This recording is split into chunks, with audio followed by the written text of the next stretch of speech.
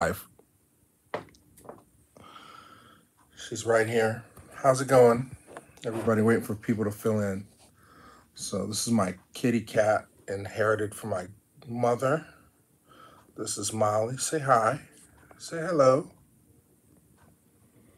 Say hi. Nobody's here yet. Couple people popping in. Hey, I'm gonna give her some treats and then um, we'll talk about um, some movies I've been watching. Who's in the room? I see one one person's here.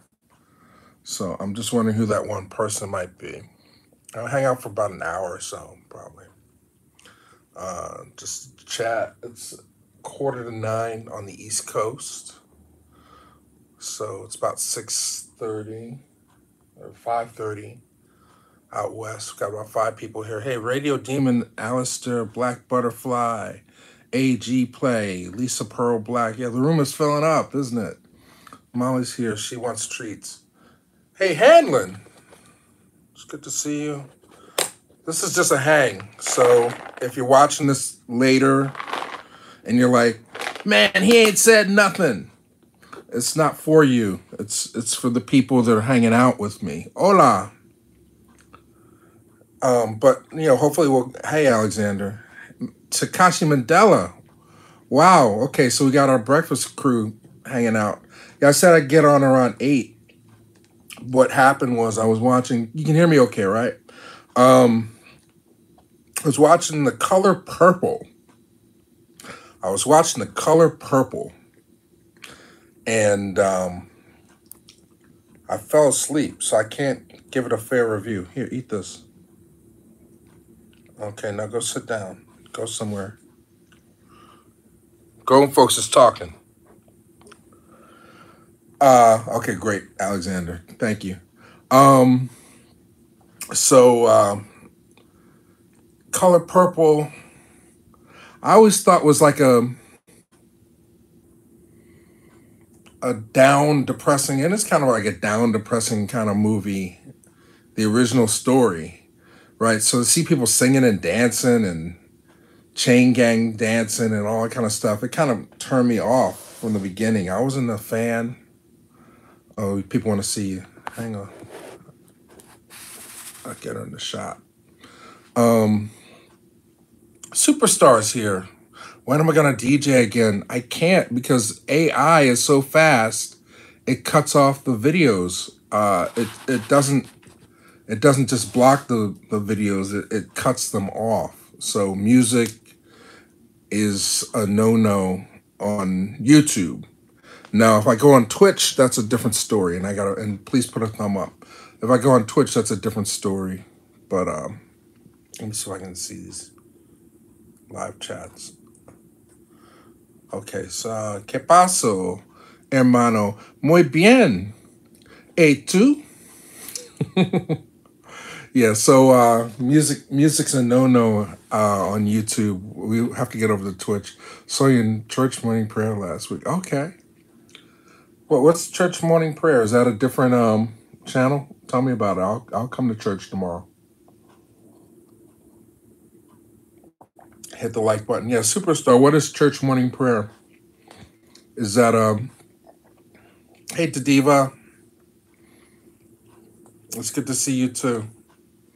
Everything's good. Just hanging out a little bit. I was anybody see the color purple? Was it good? I started watching on HBO and it felt I fell asleep. Who are you? Can I tell tell you a little bit about myself? Of course. I, I'm always happy to start that over. Do a free internet radio, but do video on there. Interesting. Well, I mean, you know, I guess uh, my my take on color purple, the cinematography was beautiful. Um, the cast was great. I don't know if I personally needed a musical color purple. Uh, I will eventually buy it for the collection, the archive, but uh, I probably have no intention of wa- Let me see. I probably won't watch it again. Um, let me see. Somebody just said something that looked interesting. How's it going? What up? I'm good, Mandela. Hey, Alexander from Chicago. It's been raining night and day. It rained a little bit here, but it wasn't raining super crazy. Um, I'm building my hotel in Minecraft. Awesome. Check out Billy Carson when you can. I will. Uh, hey, Reelblack fam. Let me get to the bottom of this. Uh, got some. You see my finger moving? That's me scrolling on the Can I explain Bitcoin? I I something I avoid. Do you still have that channel that shows those good old school movies? It you're watching it. Yeah, scroll through, put in um, Reelblack movies, and you'll see a whole bunch of people made playlists of the movies. Now we took a lot of movies down because I just didn't want to have to deal with the copyright strike issues from the big corporations. So uh, most of the movies that are still on the channel are indies or old TV movies from the 70s that nobody really cares about. Nobody's coming after us. Uh, what do I say? You make a person make a great decision about their health and wellness in our community. Wait, that's a good question. Let me let me wait, hang on. I I'm having issues. Okay, there we go. What do I say? Wait, trying to do this right. What do I say to get a person to make a great decision about their health and wellness, especially in our communities where my products are least consumed? Health is a serious cause. Um, Andrew, mm, that's a good question. I mean, I, I, if you saw me the other day, I was very concerned about my health and wellness. Um, you know, I just, I'm at that age now where we cut it out. Um, I'm at that age now where uh, I'm starting to see the effects of decisions I've made and habits I've had over the years, and how it's not always um, caught up to me. Oh, Shirley, Caesar, uh, no, Shirley Chisholm, excuse me. Yeah, I want to see the Shirley movie about Regina King. I guess I can't this weekend. Um, you know, so what's your product, Andrew? I mean, what's what's your product? Tell me about your product. This is this is annoying. I can't keep the uh, thing. The original, the movie mus- version was not good. Okay, that's what I felt. That's Elizabeth. That's what I felt with what I saw, but I didn't see enough of it to feel like I was um, fair enough to critique it. But I thought it was visually impressive, but um, it took a lot for granted. And you know, I guess musicals do that. You know, do I need singing and dancing and spousal abuse? That's the question. Um, Molly's doing fine to answer your question. Yeah, something felt well, it did well on Broadway, so they're going to bring it into film, and I think a lot of people that would um had missed the Broadway show or loved the Broadway show want a film version of it. It's just um something uh you know, the chain gang dancers was the part that I, I felt was like, and that's early on in the movie. Like I said, is this movie made for me? Is this this is a little traumatic song dance spousal abuse? Okay, yeah, quote me on that one. Put that on the back of the uh, Blu-ray. I'm nothing for color purple, and you know, so then I switch over from color purple and I put on quiet on the set. Do people know what this is? Or quiet on set, which is about all the abuse that happened behind the scenes at Nickelodeon. So turned out, I mean, no, Kenan and Kel didn't show up, but I'm sure they had stories. The Nickelodeon documentary, yeah. Um, apparently, HR was very busy over at Nickelodeon. They had a they had a guy who was a dialogue coach who was um, seducing minors, and then the main guy that they talked about, who was an actor on Head of the Class, who became the mogul. He created a ton of shows. He ended up getting Me Too. What are my thoughts about it, I'm giving my take. Um, I saw the movie. I'm good watching that. Nothing else. Yeah, I think it might be a generational thing. Surprising is Fantasia one. I would have had Halle or Alan to New Black. Well, Fantasia was good. I mean, I have no problem with the casting. I think it's a beautiful production. I just don't know. Going back to Color Purple, um, I just don't know if it was my cup of tea.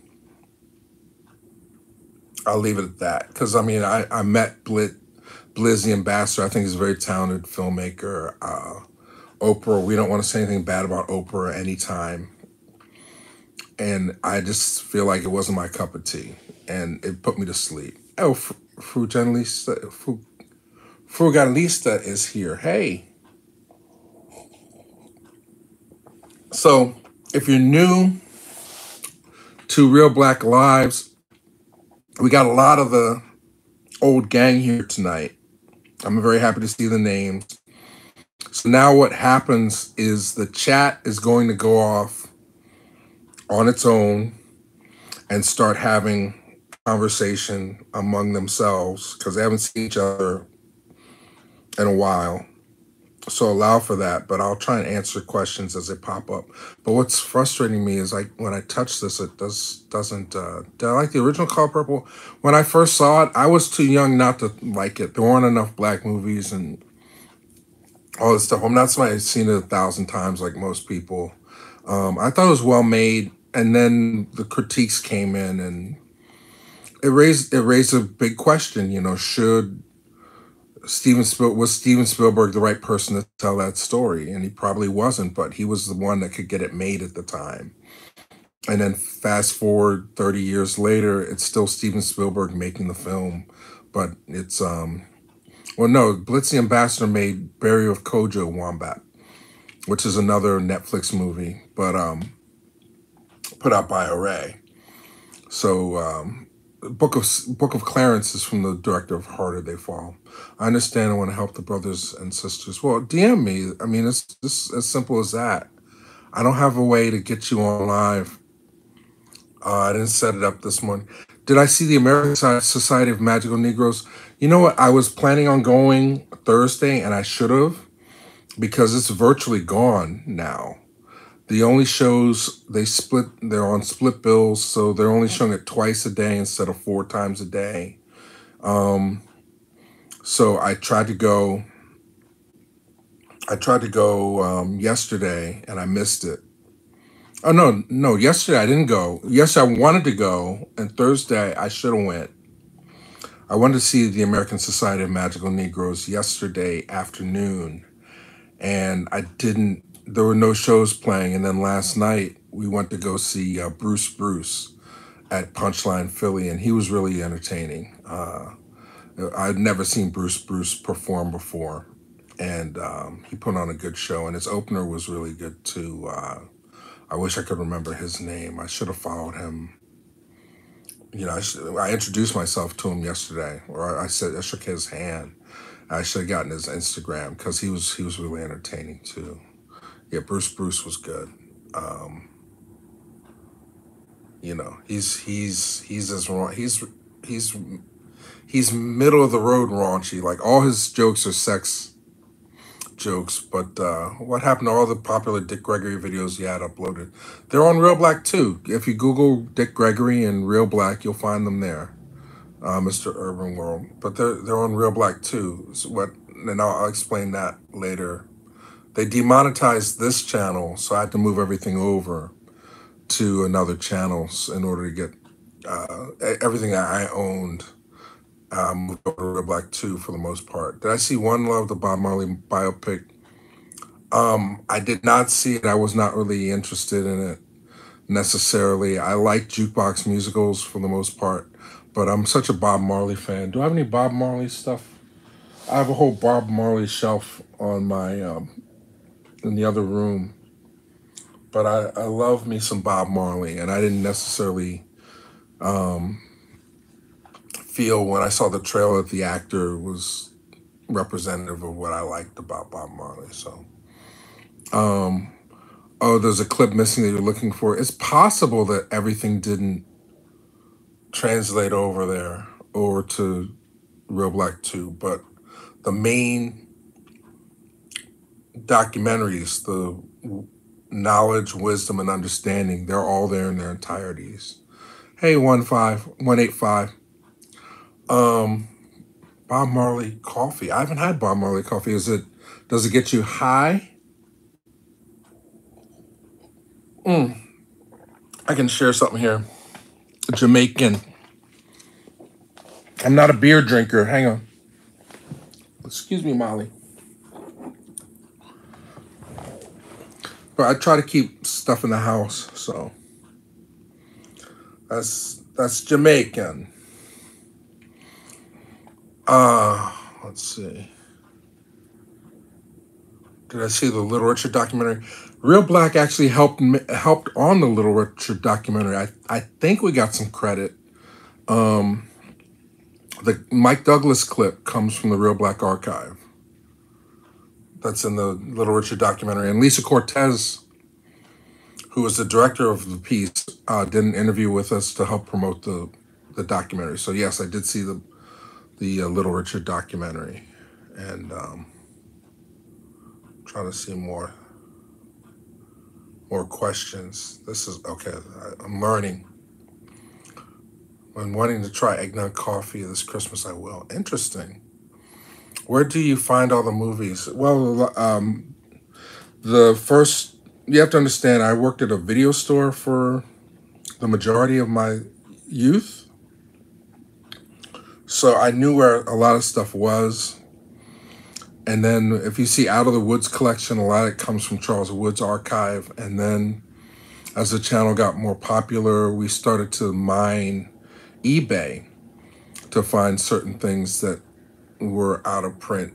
You know, so it became like a collective thing. The money that came in from the channel, we would reinvest in finding more rare things, you know, that that weren't necessarily in the collection. But um, between Charles and I, we have um,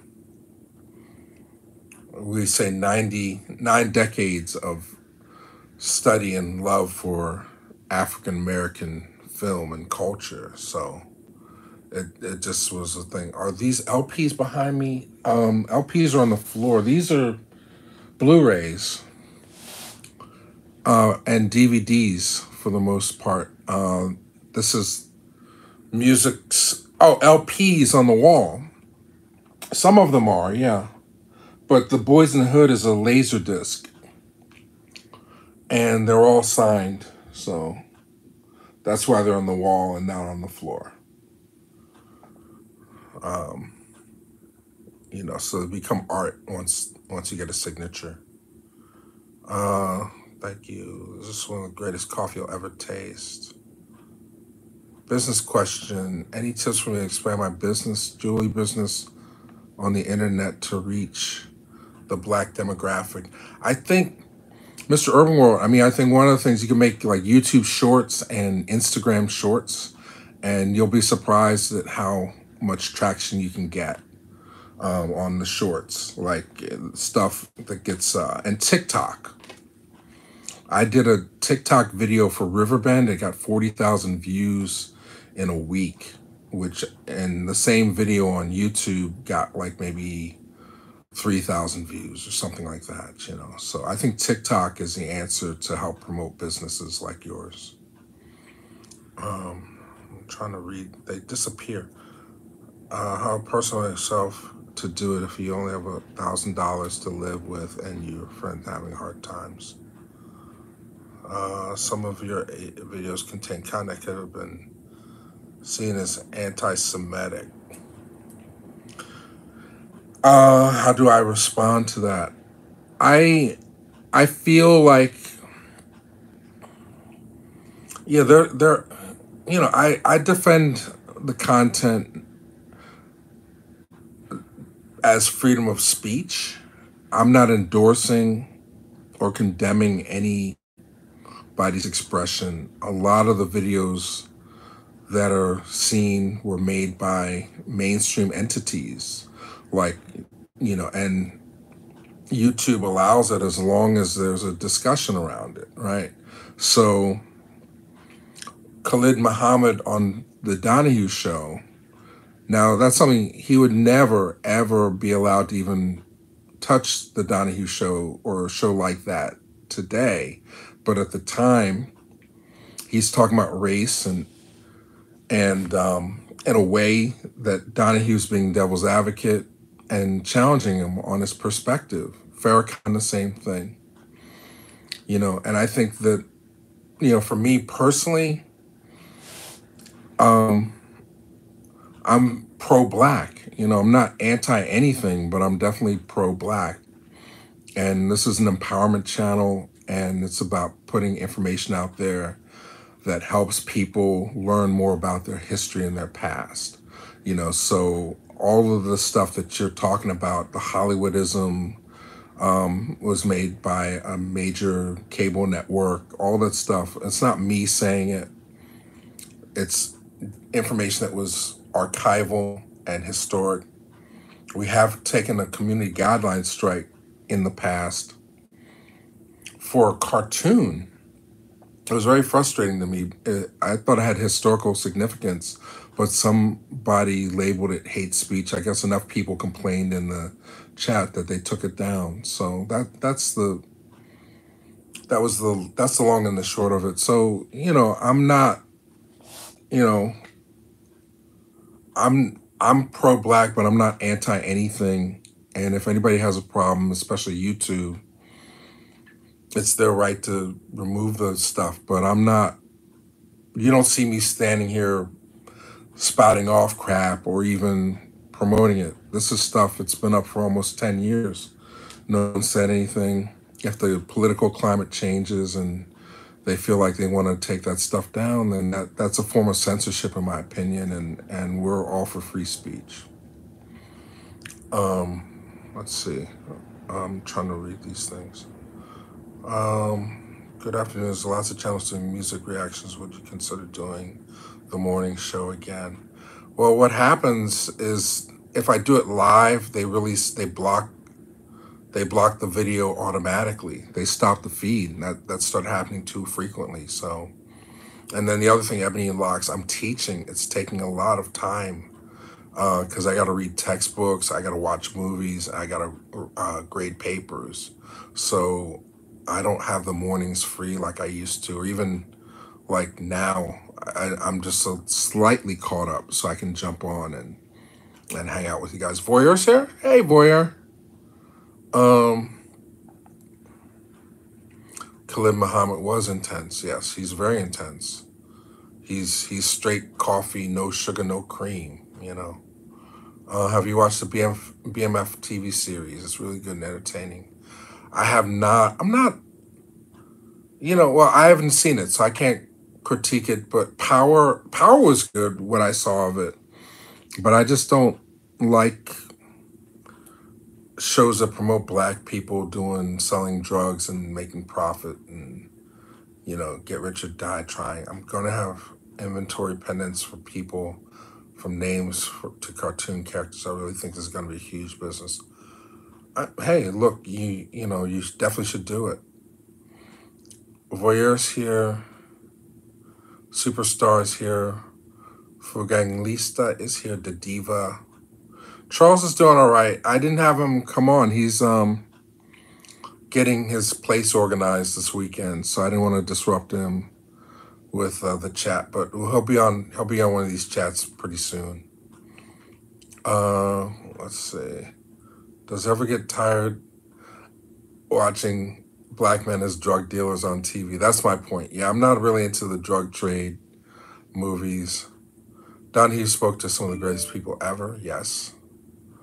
Uh, that's why I enjoy movies like Blade, Black Panther, Hancock. That takes a different route. Good afternoon. Okay.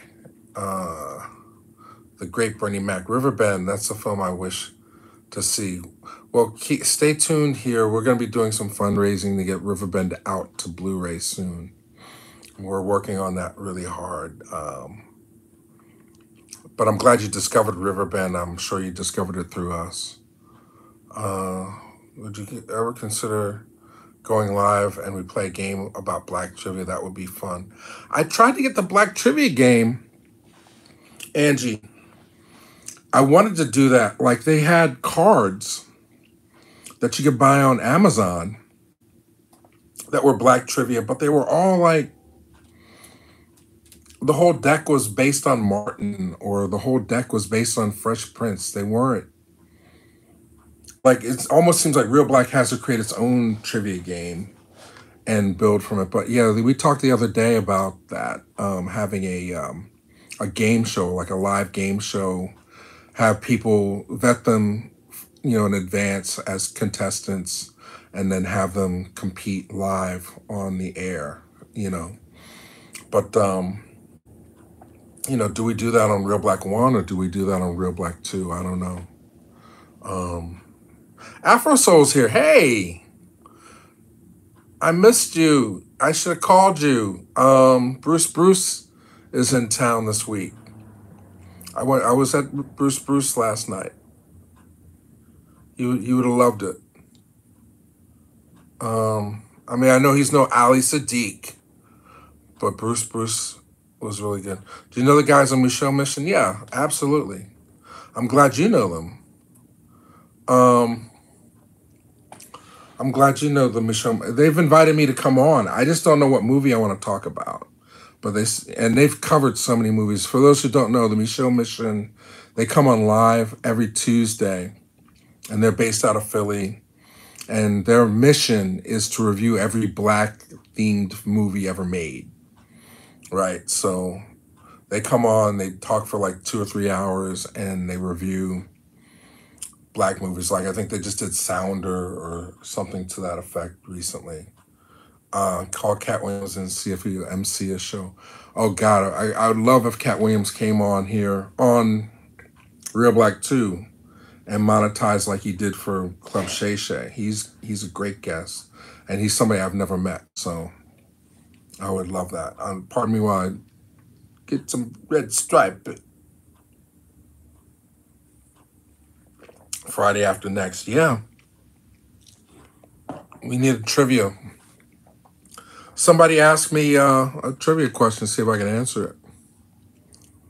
I believe your old interviews with Bobby Dick Gregory were breaking the internet way before Club Shay Shay. Interest, introduce, well, the thing about Club Shay Shay, I mean, he got 40 million views on one interview and he already had a big following. So that's millions of dollars that month into his account. You know, I mean that's that's life altering. He, I don't know how he's gonna handle it in terms of. I mean, he's got money already, but I mean, you know, a big boost like that, a big spike like that, you got to do something with the money. You know, besides bank it. You know, you got to give back. In my opinion. You all right, Molly? Molly's nodding out you know, the drug ep- epidemic is so bad in cities like Philly.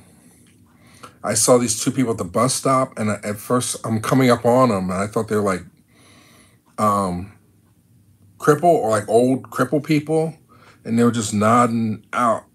And the funny thing, it's not funny at all, but the weird thing about this, you know, what is it, fentanyl or whatever they're doing, is um, you won't fall down. It's like was that Weebles wobble, but they don't fall down.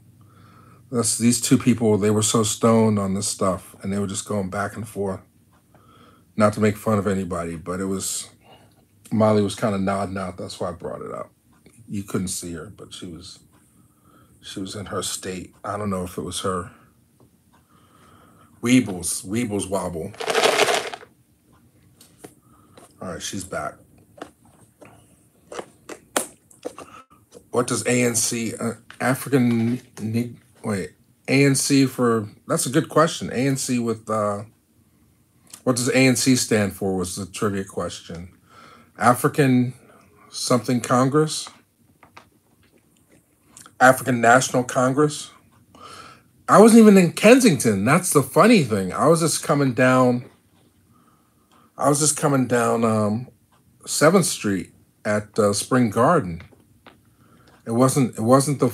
They were just maybe they were on their way to Kensington. Hey, Crystal.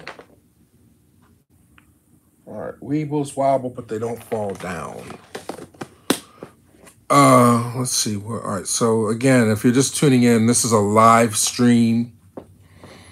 If you're watching it on the replay, that's that's up to you. But we're just going through the chat.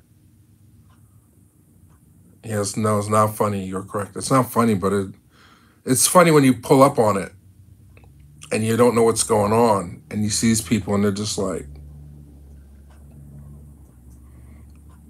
you know, I own American Black Americans of Achievement game. When will you get another interview with someone of Dick Gregory's caliber? I don't know. Well, who's who's a Dick Gregory was sort of like lightning in a bottle. Um, I wanted Bobby Seale. I wanted Bobby Seale, And at a point, I was ready to fly out to the Bay Area because I thought we had a relationship. And we, we kind of do. Bobby Seale is interesting because if you call him up, he'll talk to you for hours on the phone. But then at a certain point, he'll get very paranoid. He'll say, Are you recording this? And I'll be like, No, sir. You know, it's like the reason I'm calling is to set up something formal so that you can share your wisdom with people. You help organize, you created the Black Panther Party. You help organize so many black people and, and empower them. This is what we stand for. And at the time I was talking to him, this was around 2018, 2019. Um, the um, Black Lives Matter movement started. I said a lot of their principles are the same principles that the Black Panther Party had. Hey, MG, I got your message. Um, I'm doing all right. So he just didn't want to do it. He he had I don't want to use the word delusion, but he had this belief that he could do everything himself. And um, still to this day, you know, I talked to him. This is March. I talked to him a couple months ago on the phone.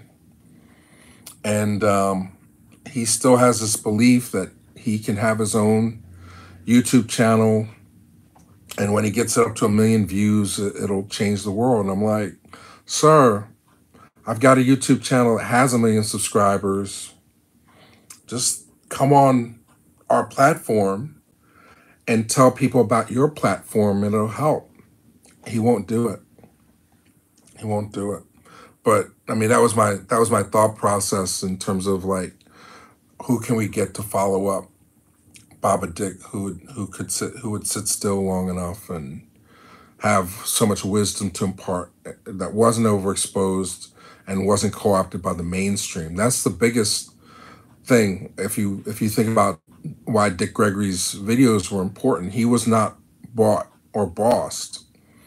You know, like so many people um, are bought by the mainstream. They're afraid to say anything controversial and Baba Dick just didn't care. And I think um, Bobby Seale, if so, anybody can get him, if anybody can get them, I'm not saying he, anybody can get him.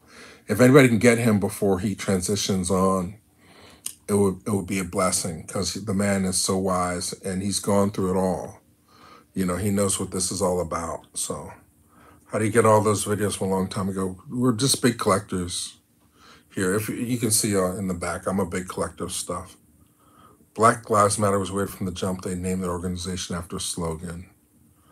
Have you spoken or interviewed Ruby Bridges? That's a good question. Um, I commend you for the respect you gave Baba Dick, although oftentimes he was irate. That's a good word, irate. Um, Uh, voyeur, irate. What what other words can we make from irate? If independent filmmakers make movies, would you show them if it's good enough? There's no way to monetize them. That's the problem, you know. But if you have a short film and you want more exposure for it, sure, send it, send it. I'll, I'll put it up. You know, if you just want exposure, but I've, I've got no way to monetize for you anymore. I used to pay money to people who submitted stuff. I, I'd send them a hundred bucks or 500 bucks, you know, for content, you know, but we just don't do that anymore. Um, Ivory Coast, Pearl Bailey, Mahalia Jackson, who gave the most to the people in what way? That's a good question. I just don't know enough about either Pearl Bailey or Mahalia Jackson. I would say Mahalia Jackson because she gave a lot to the people's spirits. You know, she she's her voice lifted and empowered a lot of people. Trivia question on the television show Good Times. What was Lenny's occupation? I don't remember Lenny. Angie, does anybody have the answer to that? What happened to your movie? It's probably on Reelblack 2 or the one I was working on, the one I was writing. Never finished it. That's that's to my my I had four scripts I was working on and I couldn't get through past page 30 on any of them. So um hence I'm I'm kind of in a sticking I'm a holding pattern. You have to finish something in order to get it out there. Lenny was a booster. Okay. Mm, it's a little tasty. Trying to get to there it goes. Lenny, if Lenny didn't have it, then they can't find any. Mad Dog. No, it's Red Stripe. Uh, let's see. Going back,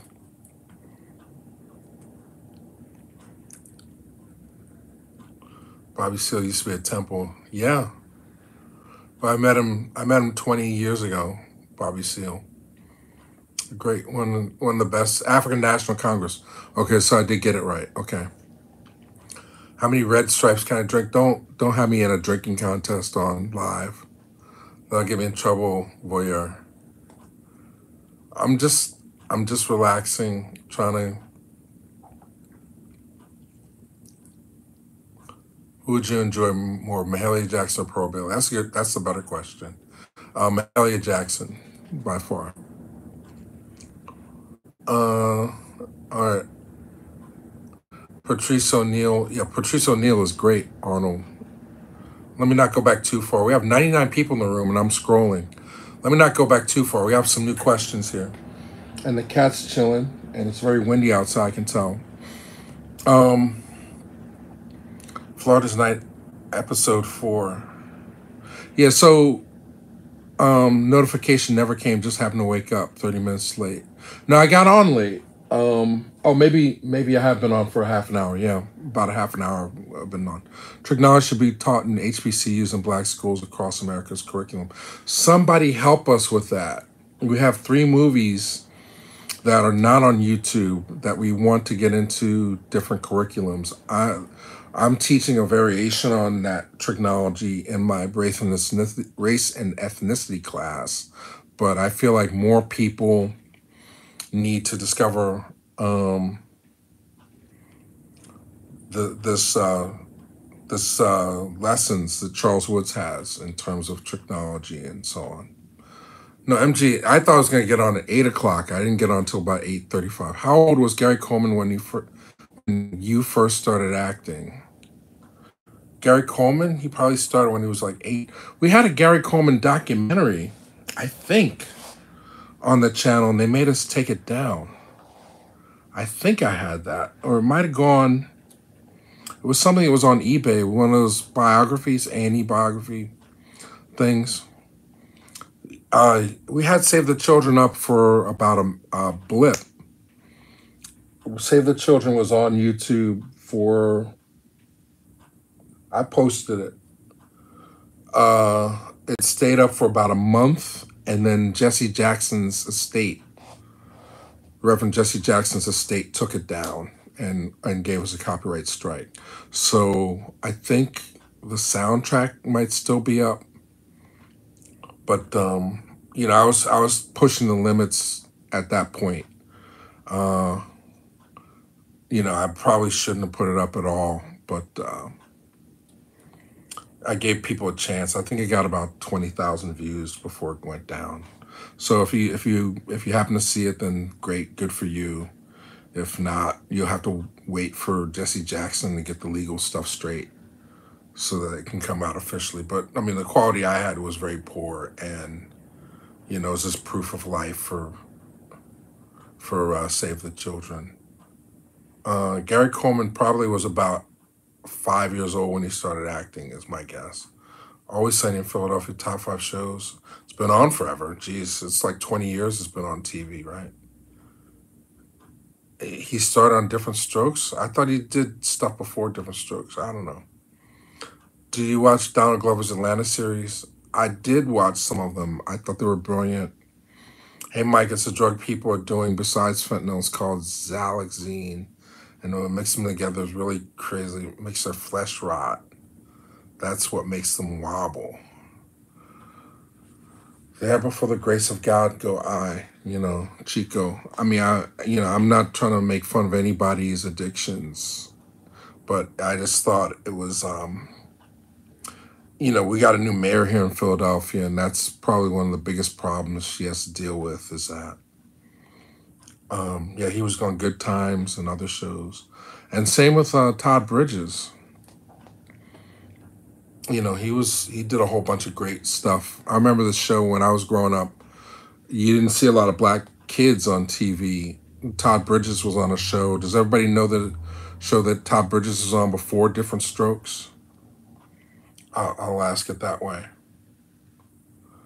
You know, people my age, he he was on a, a the spinoff of Barney Miller, Little House on the Prairie, but he was a regular. They did a spinoff on Barney Miller called Alan Thicke. No.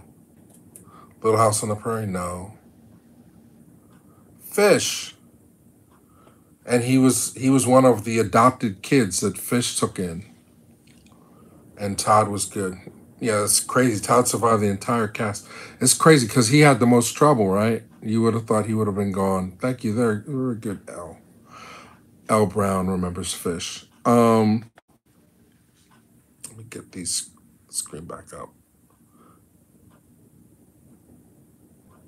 Why Temple University won't fix the Uptown Theater? That's a good question. I think the Uptown is owned by a, uh, another corporation, and they're, they've been trying to raise the money themselves, and that's what made it difficult. You know, because they want to keep it black owned. You know, um, Abe Vigoda used to ride my bus. What is Abe Vigoda doing riding a bus? I would think he would be like in a pimp mobile. Uh, People can picture Abe Vigoda. Abe Vigoda looked the same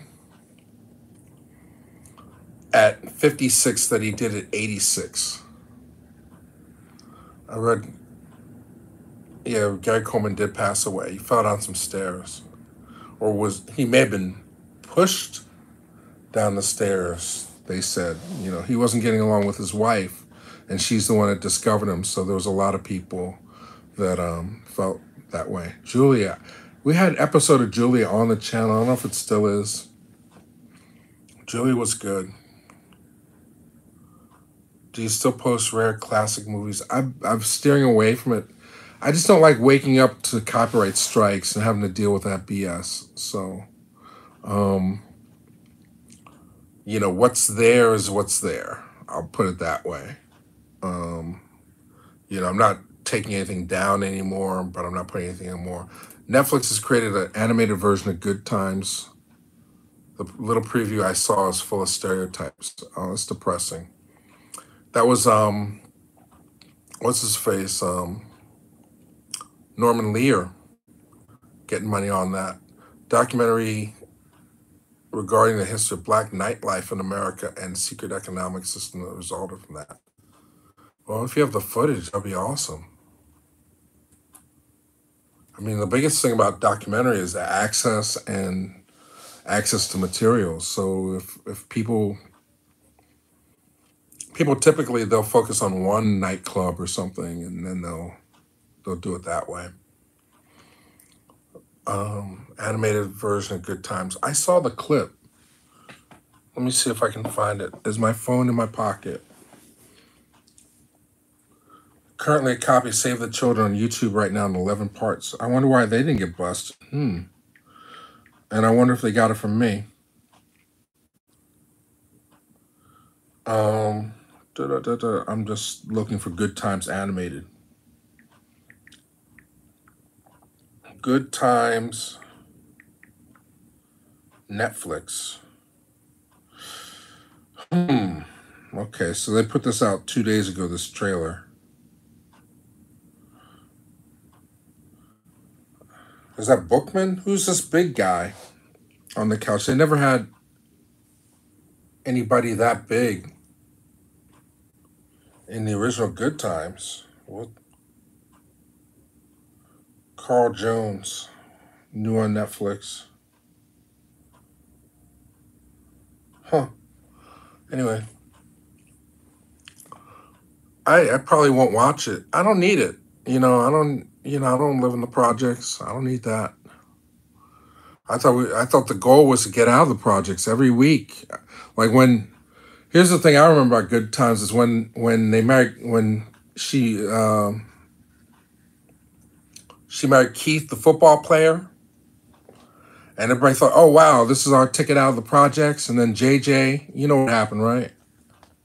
They get they, they get married, and then JJ tries to get a photo and trips Keith during the wedding.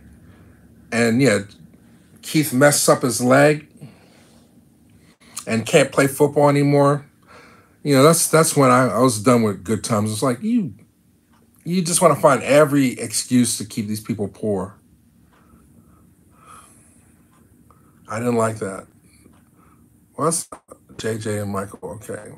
What did you think of the magical Negroes? I tried to go and it's already left. That's the problem, Greg. I was gonna go Thursday. I didn't go Thursday, and um, Friday they split the screens. So it's it's gonna probably play one more week and they'll be out of the theaters. So it was not a big enough hit. The PJs, yeah, I got the PJs. Oh, let me see. PJs were something else. Hang on, Molly, you want to take over for a minute? Take over for a minute.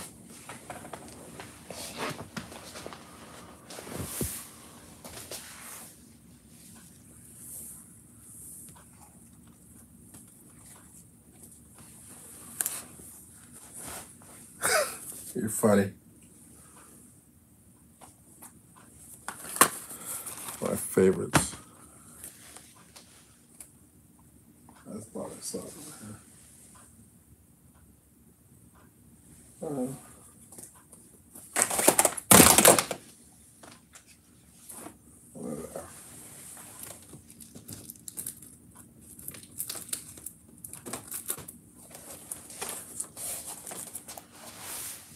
prized possessions. What were you saying about her? She's a good host, co-pilot. Yeah, it's already left. I mean, uh, uh, you know, it'll go to pay per view or something like that. What's what was on the shelf?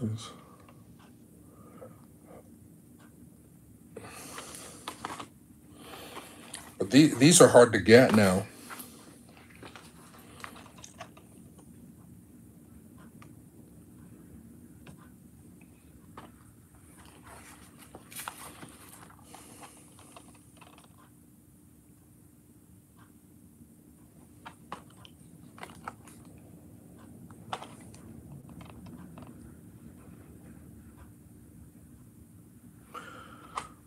Yeah, PJs were fun. Oh, come on now. She's tearing up my hand. Um, yeah, I do have a good collection. I'm proud of my collection. Um, let's see. Jesus Finger. Molly's Chill. PJ's was a great show. Bebe's Kids. Love Bebe's Kids too. I actually saw um, Robin Harris perform live at the Apollo on a bill with Chris Rock back in the early 90s, like 1990, 89, 89, 90. Um, right before, after House Party broke. But he was so drunk, he did his Bebe's Kids bit before he did his HBO special, right? So, and he had these Bebe's Kids shirts that he was selling. And um, I mean, I'm I wouldn't have bought one. If I bought one back then, it would probably it would be like a, you know, I, I wore a size extra large back in 1990, you know, so I wouldn't be able to wear it now. But I did see it pop up once on eBay, that Bebe's Kids shirt that Robin Harris used to sell. But he was so drunk, um, and I was in the balcony, I couldn't understand what he was saying. Um, switching device to be able to see or speak. Didn't like the PJs. I thought the PJs, Eddie Murphy's a genius. So even though it bothered me in some respects, I thought I thought it was brilliant in other respects, and it serves as a template for the Bernie Mac show. If you look at Bernie Mac show and what Larry Wilmore Moore does on the PJs, it's almost the same show. The show that got me was the cousin who offered James a job paying hundred dollars a day, and Florida was against it. Yeah, every every episode they got to end up back in the projects. Even I've said this before. Um, Sanford and Son. You know, you get a lottery ticket at the beginning of the episode, and somehow it gets shredded by the end. Or my favorite one on Sanford and Son is when they find the uh, blind mellow jelly records or something and the guy he says and he finds out that the records he has is worth a fortune so he goes back and he's got he's like i'm blind mellow jelly. I want my daddy's records. And of course they get the records back and he's like yeah we're gonna be rich. And then they fall off the back of the truck. And i'm like of course they're not going they can't change the format. Um damn damn damn. I just saw the episode where james passed away yesterday are you gonna watch the Tyson fight?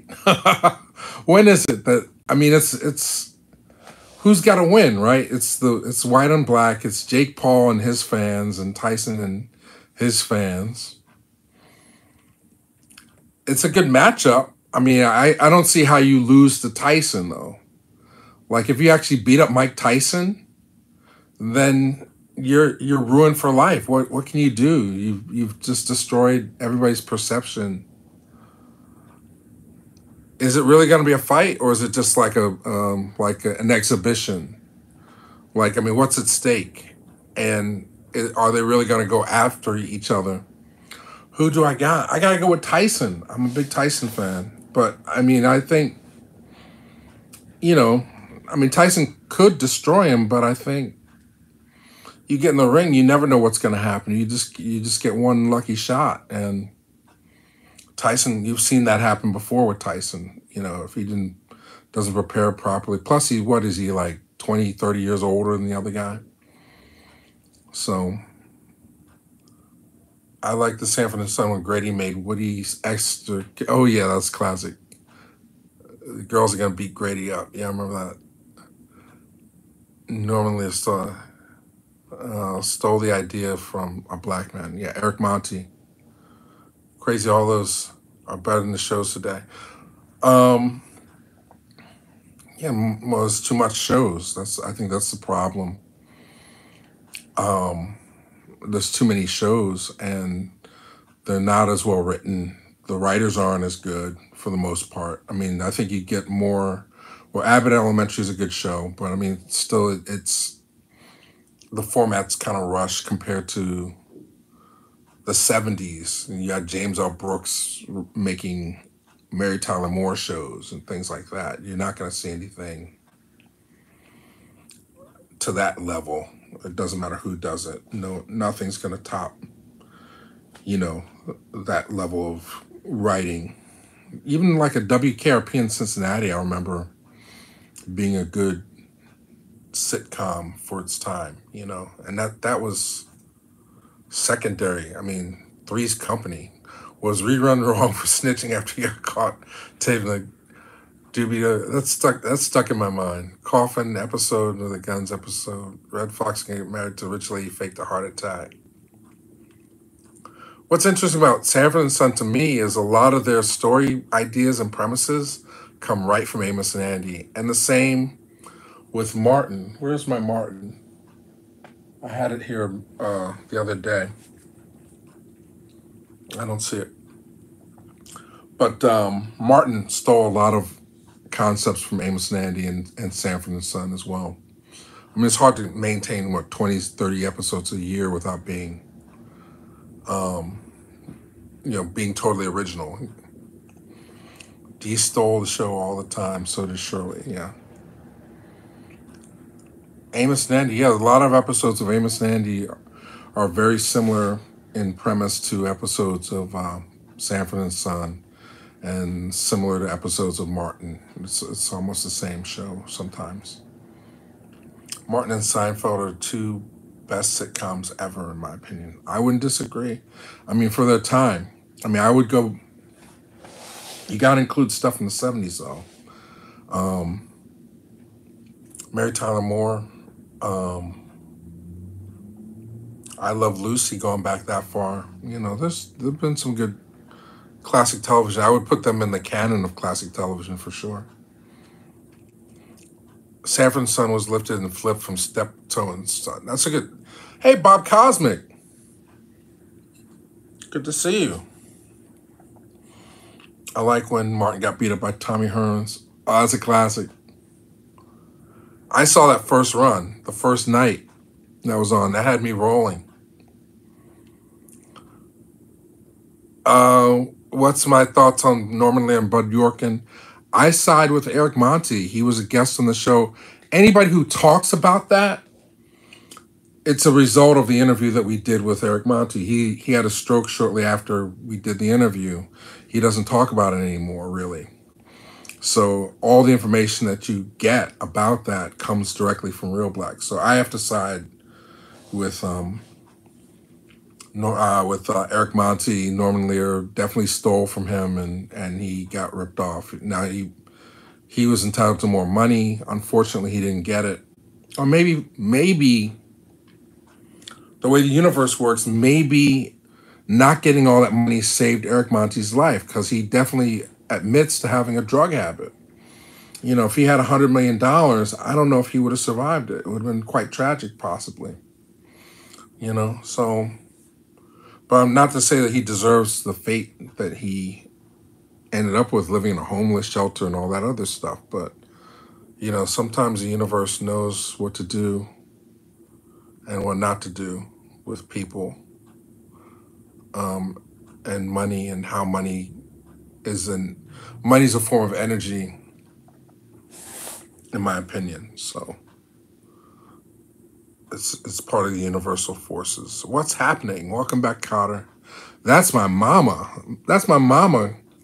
Was only on for two seasons. How is that a classic? Flip Wilson show.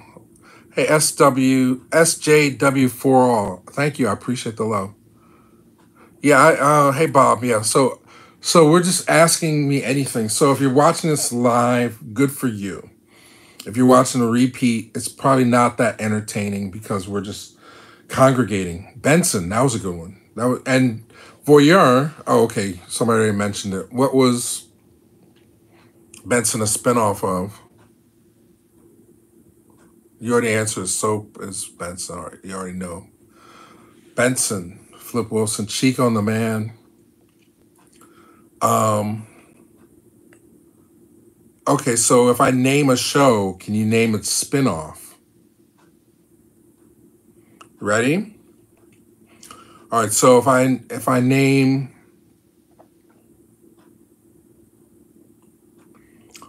Mama's Family is a spin-off of what show? Mama's Family is a spin-off of what show? Who's got that? I'm waiting Afroson, maybe, maybe not. Carol Burnett, Geechee Dan gets it. Yay.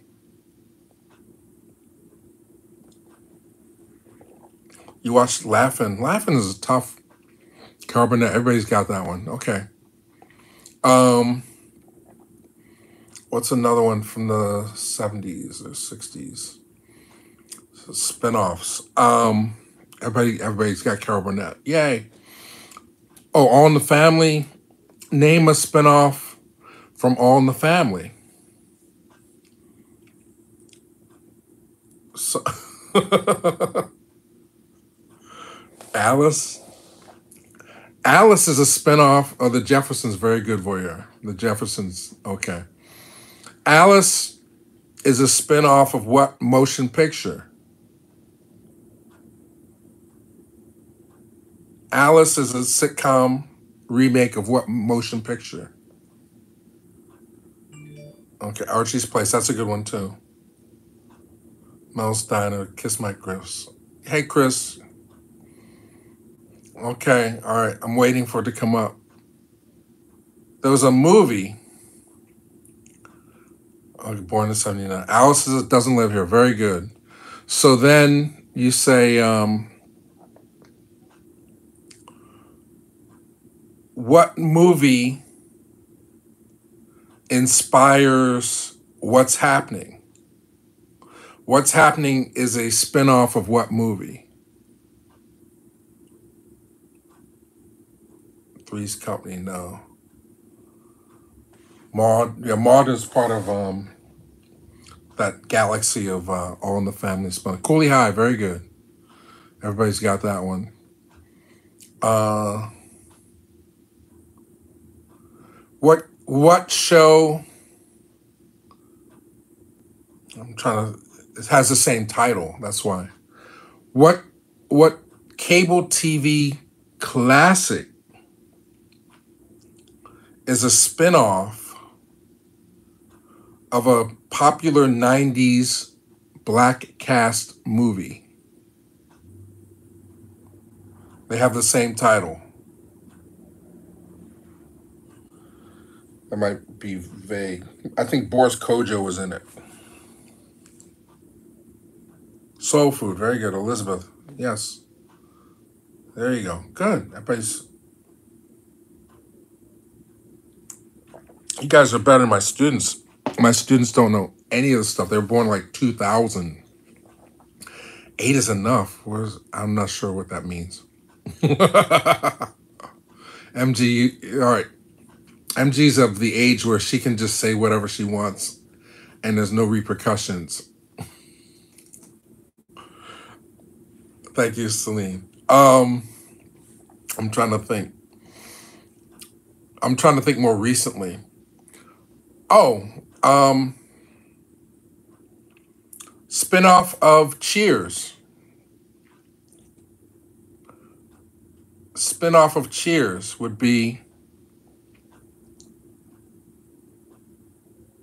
Coach, no. Taxi, no. Frasier, very good. FU2 and V-Man 0966. Um, Seinfeld, Frasier, Frasier. Everybody's got Frasier now. Becker. Becker. I think you're right about Becker. Was Becker part of Frasier's universe? I forgot about Becker. Does that still come on? Do people still watch Becker? Is Becker still on like a streamer or something like that? I no.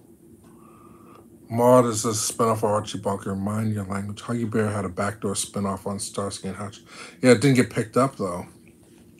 Cheers was a spinoff of Becker? No, Becker comes after Cheers. Frasier. Frasier is a spinoff. Vice versa. Okay. We're just hanging out. All right. Somebody asked me when Wings. Oh gosh. I forgot about Wings. That's an old one. Cozi TV, I believe. Becker. Wish you had the Shaft TV show.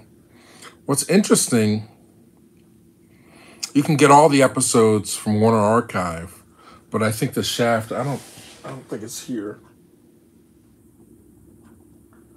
Don't have Shaft here. Let me see what's here. These are criterions. Um nothing interesting. I'll let you read them. Nothing interesting there.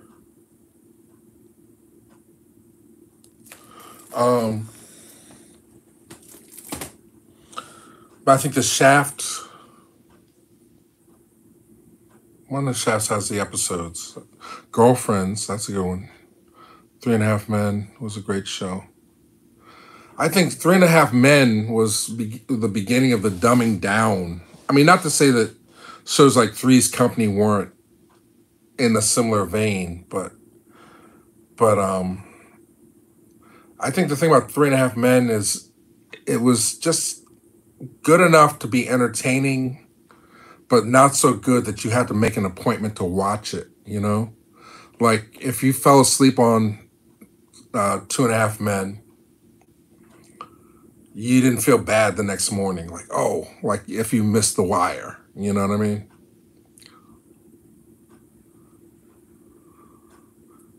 Hey simply deep 1985 spin-off of sanford son oh that's a good question yeah. So that's a good question. Let let other people answer. I know the answer to that one what's a spin-off of sanford and son? There were two. Grady. And there's another one.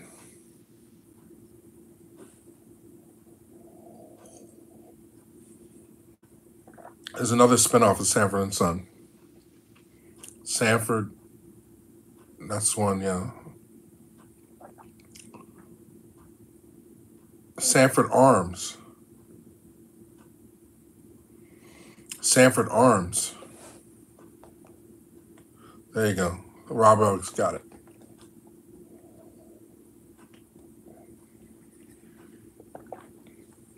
With dennis burkley as lamont.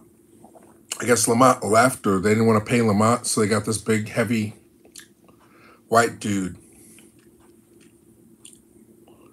I think there might have been a show called sanford as well with um oh mork and mindy. Yeah that's a that's a spin-off of uh what happy days right? And um happy days is a spin-off of what show? Happy days is a spin-off of another show. No um, this this might take it a little further larenz tate on sanford arms i don't remember that with the not american it's inspired by american graffiti close Well, sim. Well, yeah. I guess Richie was in American Graffiti, and that that might have helped influence it. But um, Love American Style.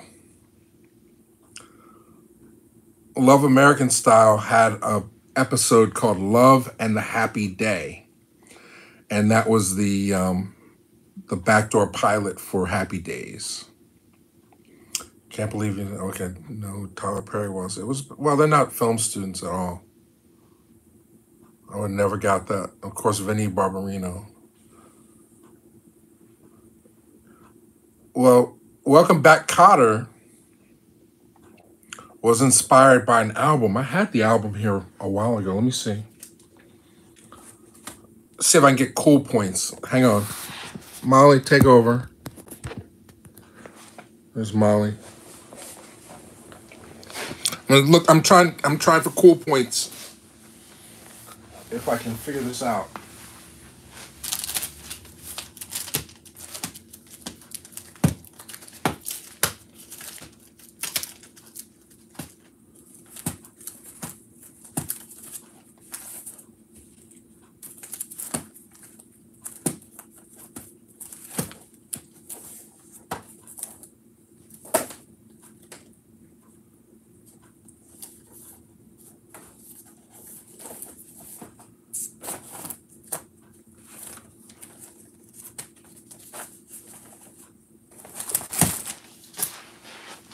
Got so much trouble on my mind.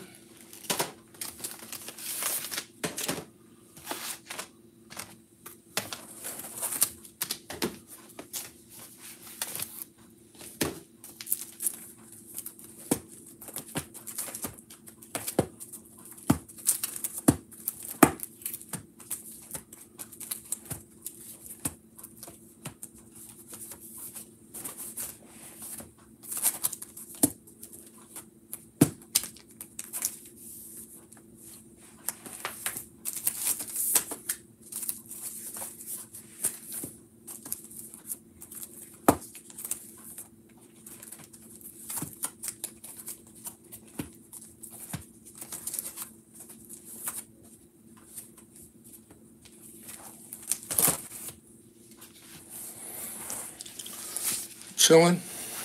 What did I miss in the chat?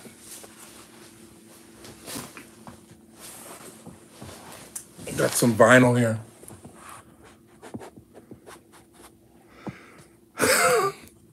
Chat's moving. Okay, we lost about 10 people. I couldn't find it. Uh I thought it was in here, but I don't know where it is. Um, but I found some other vinyl. Uh Gabe Kaplan had an album called Holes and Mellow Rolls on ABC Records, and it was the inspiration for Welcome Back Kotter. But here's some stuff. Um,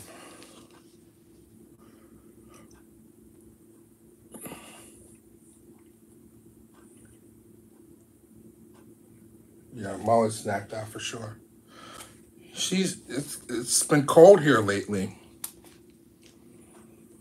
It's been cold here lately. She's been hanging out a lot more than she usually does. Um,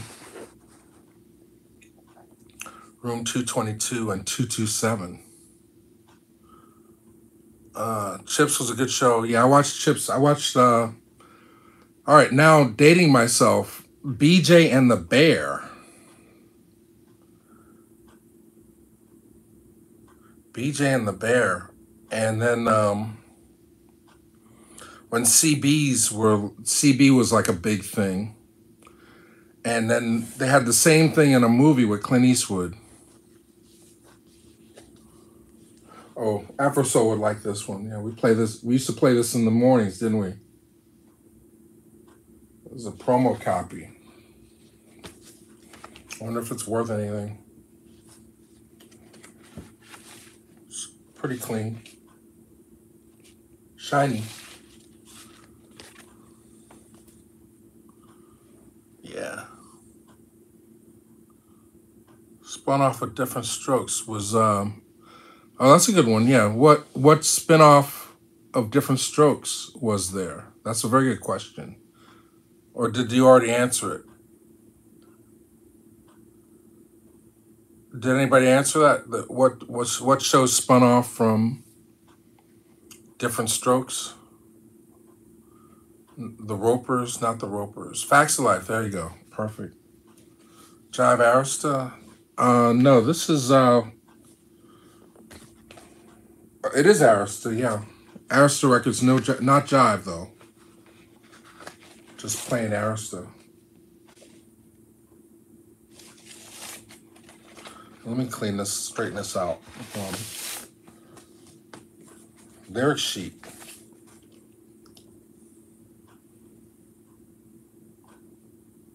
That might be a nice photo to put up on Instagram.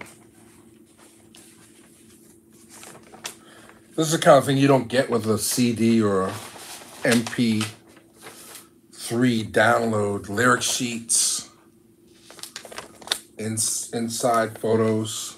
I gotta figure out how to put this back in so it doesn't fall out.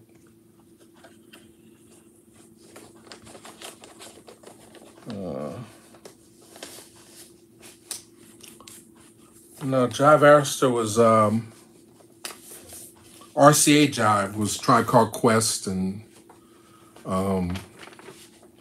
Jazzy Jeff and the Fresh Prince. There's a video on the channel called Jive's Greatest Something. It's got all the rap artists. Here's one. Take you back. Oh, this is not my original copy either. This is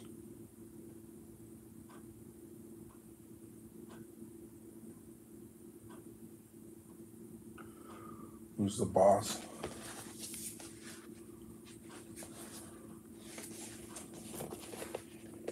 This fit.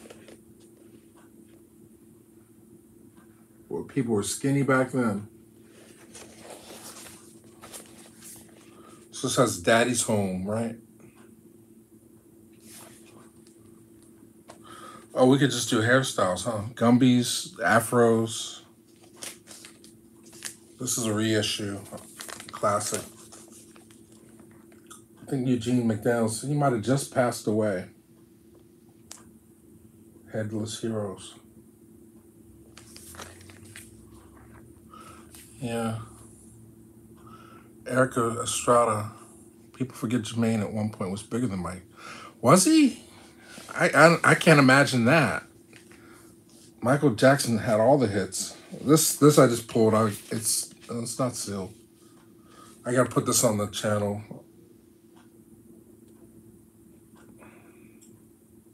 So we'll set that one aside. Transcribe it. This feels heavy. There might be something in here. You can't get a copy of uh, Purple Rain for three ninety nine anymore.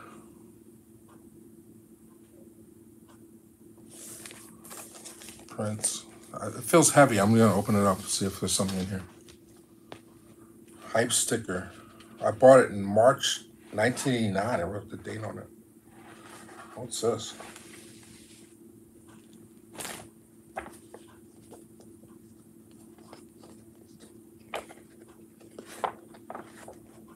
Do people still have this? Let's see. I'm reading uh, American. I didn't put the American Dream up. No. But if it's on YouTube, I mean, I have it, but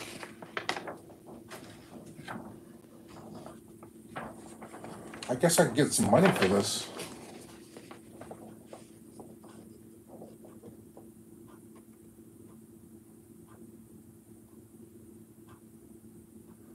So, all right. Who can name all the members of the revolution?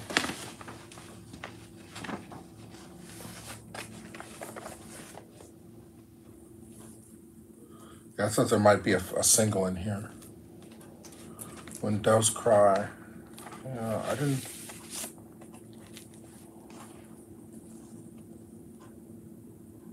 Oh, it's a cutout. Interesting.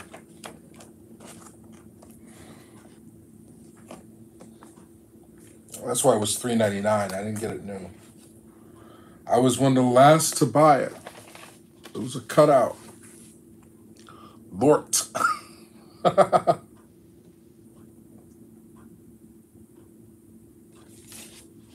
Let's go crazy. Darling Nikki. Computer Blue. Oh, I might have to listen to this tonight. Wendy Lisa, the doctor, yeah. Wendy Lisa Daz. Dr. Fink Jesse Jackson. Okay, I think you might have gotten it. Geechee Dan. Name the revel- members of the revolution. So, uh,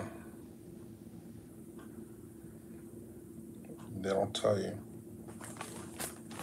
Love the late 60s. Shep more vinyl, or are we talking Michael Jackson now? Oh, I, I can show you another um, Prince item sitting over here. Purple Rain. Jesse was with the time. I was a Young and Humping pillow album. I can't. I can't read. Hang on. Take over, Molly. Whoops. Prince. We're talking about Prince, right?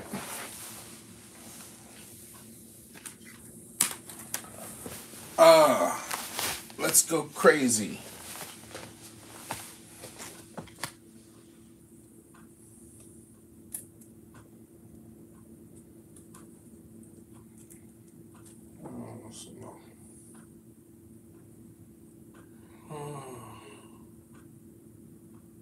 Michael Jackson.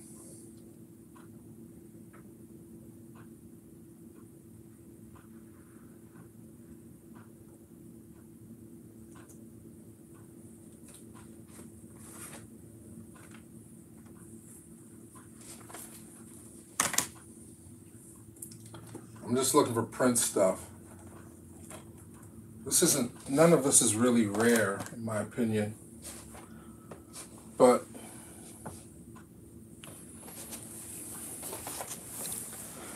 it'll.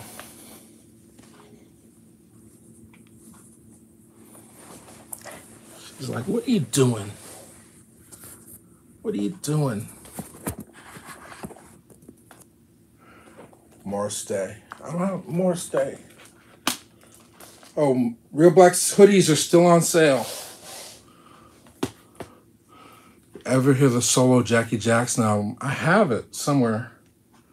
It's not that good. I'm just wondering where Tito is. Here's the other. So this this everybody I know that has this, it's rusted on them.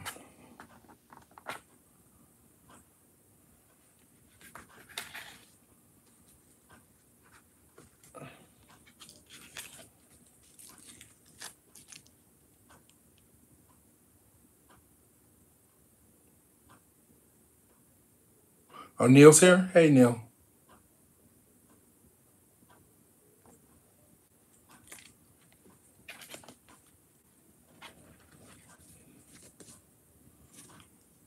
Doesn't.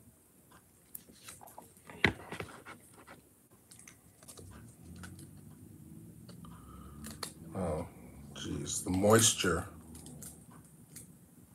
I can't open this. It's crackling. Same thing happened to my Paul's Boutique album. It was it got wet or exposed to moisture and got messed up. Hey, Molly's up. Tito, get me some tissue, Jermaine. Stop teasing me. Is sealed uh, at times. Yeah, uh, Chris, did you like the Tito album? Prince collection. This Blu-ray it has all three of his movies. Under Graffiti Bridge, under the, I'm sorry, Graffiti Bridge, Under the Cherry Moon, and Purple Rain. So this is the way to go if you like Prince and you like his movies. Um, Black Album on CD. It's like a mirror. Remember when this first came out? It was a big deal. Tito was cool. Stoney was my favorite Jackson. Oh, you're being you're being funny.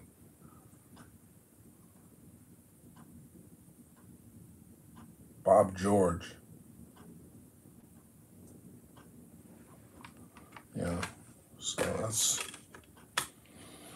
the only Prince album not available on streaming.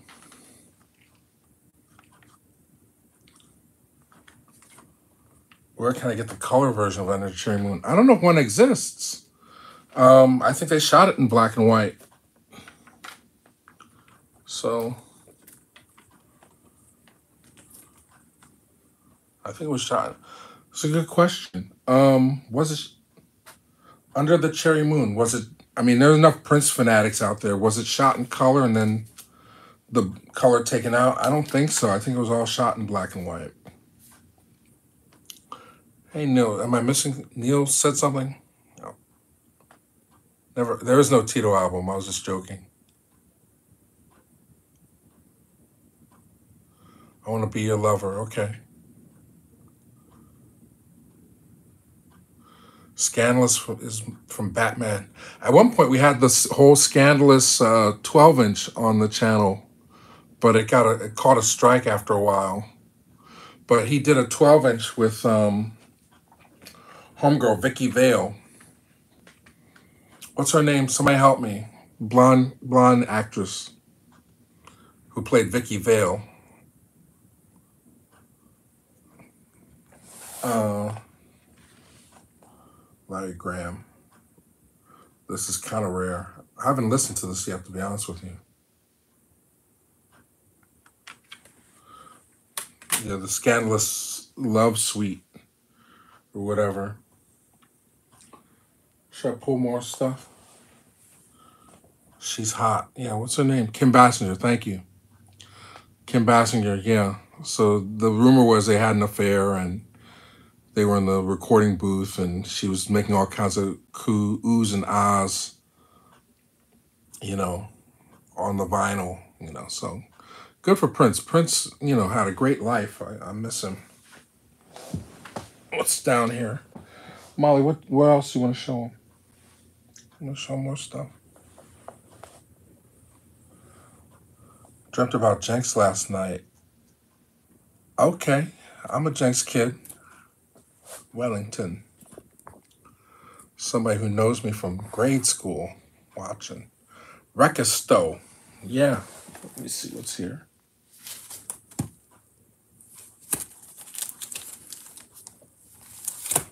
Oh, I don't know. I'm listening. Trying trying to keep you guys company. What's what's been new? So if you just tuned in, people popping in and out. So if you just tuned in, I I said I tried to watch The Color Purple, couldn't get through it. I fell asleep. Probably needed that coffee or something to get through it, but it just threw me off from the beginning. There was a lot of um, dancing. It just it just felt weird. Dancing prisoners and dancing sharecroppers and shit like that was not something I was expecting at the beginning. It didn't excite me, so I, I had to pass on it. And then um, I watched The Quiet on Set, and that was that held my interest, you know. But I didn't grow up on Nickelodeon. It's awful to hear how little HR they had, you know, in terms of uh, protecting these kids. How many have come out traumatized as a result of their early stardom and all that kind of stuff. I thought it was really well done, and um, I guess there's gonna be more episodes coming, you know, but or maybe not because they, they kind of close on Dan getting fired, so maybe the whole series is dropped. Anybody actually like the new Color Purple? A lot of people liked it that saw it in the theater. I just wasn't a fan. I can't say it's one I'm gonna rush out to buy. But um oh here's what I considered. In your opinion, what's Spike Lee's worst film?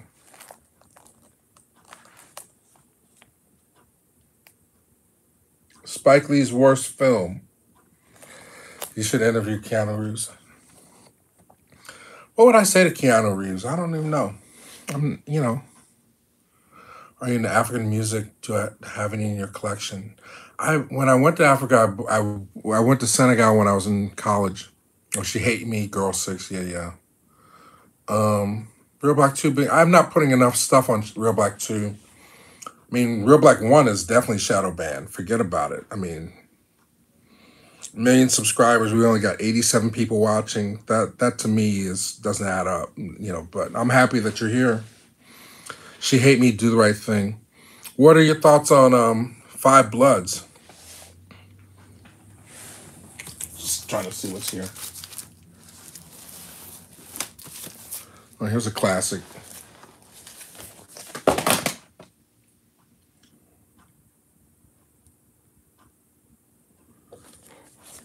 I might play that later. Be nice to listen to it on vinyl. Hated the ending of Do the Right Thing. Y'all hating on Morris Blackman. Chi-Raq. Oh God. Yeah, I forgot about Chi-Raq. Yeah, I forgot about Chi-Raq. Did Chi-Raq Chirac was made for Amazon. That never made it to physical media, did it? There's no DVD or Blu-ray of Oh wait, maybe there is. Do I own Chi-Raq? That's a forgettable one, in my opinion. I mean, he was trying to do the right thing with uh with the message. It was a, a adaptation, but uh, yeah, I do have Chi-Raq on DVD. White Men Can't Jump. That's oh, the TV show or the movie? I haven't seen. I've not seen the TV show yet. Ninety-five million to make Color Purple musical. It's beautiful film. It's a beautiful film. Pam Grier movies. Uh, the first two are the best, in my opinion. Coffy and Foxy Brown. That's that's where I would go with Pam Grier. But um, she made a lot of good stuff. I mean, I, I enjoy.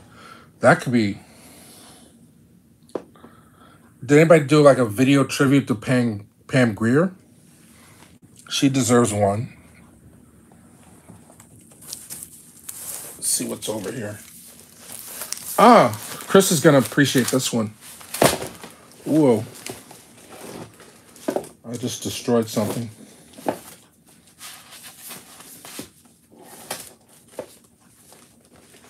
Just going through the record collection. Ooh, that wasn't good. that wasn't good at all. Yikes. This is bad. This is bad. I was trying to get to. Okay, please sign that. This I could probably get on the channel. This is Lionsgate though. This never made it to anything. And it's uh got a good cast.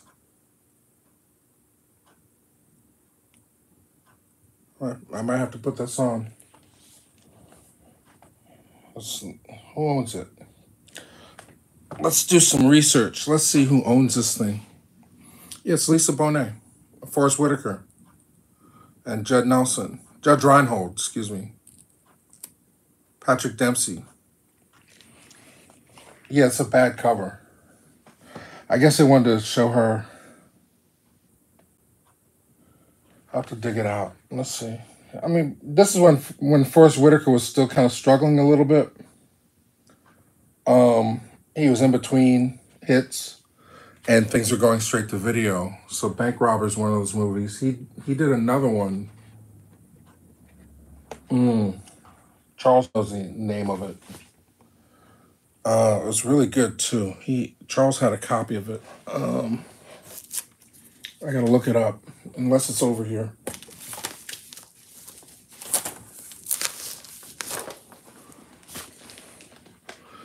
Fell in love with her when she was in a different world. Hmm.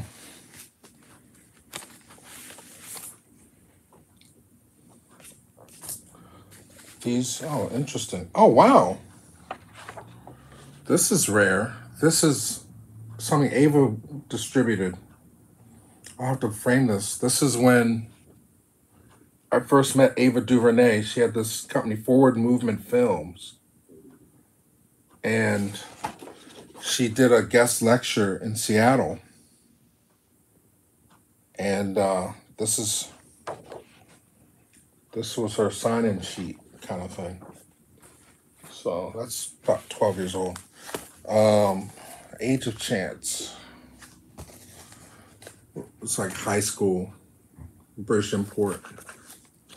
But they did a cover of Kiss that was good. Let me see if I can find it.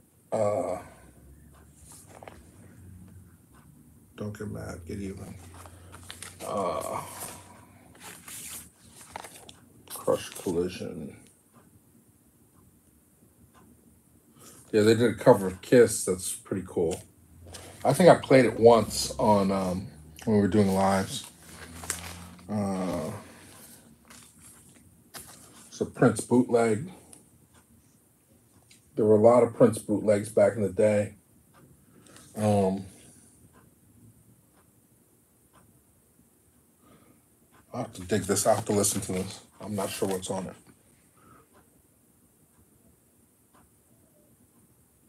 Ava was gorgeous. Yeah, she was. Chicago Soul Train. There are no recordings of Chicago Soul Train, Chris. So how can you compare them? They they never recorded those early Soul Trains. Charles, hey Reef, Charles is doing great. Looks like before High Fidelity. McDreamy. Oh, here's one. You can't get vinyl for seven dollars anymore, which is unfortunate. People people have this. I had the cassette bootleg and I had to go out and get the vinyl. This is a great album. I, I don't think enough people listen to this anymore. I might have to put this one on. Poor Righteous Teachers. Oh, it says. Oh, hmm.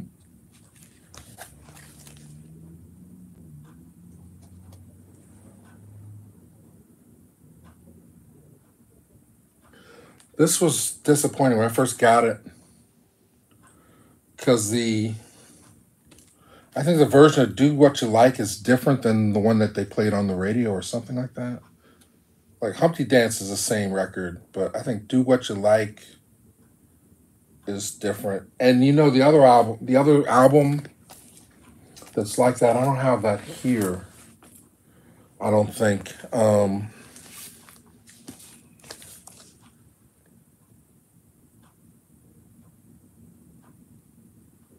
there's Tupac.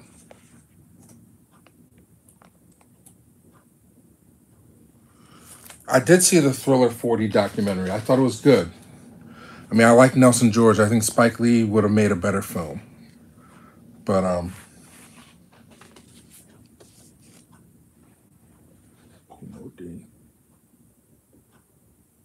Oh wait, I, I'm not holding it upright. Chris is like, you're not holding it upright. So this this was part of the disc thing. If people don't remember, underneath the wheel of his Jeep is a Kangol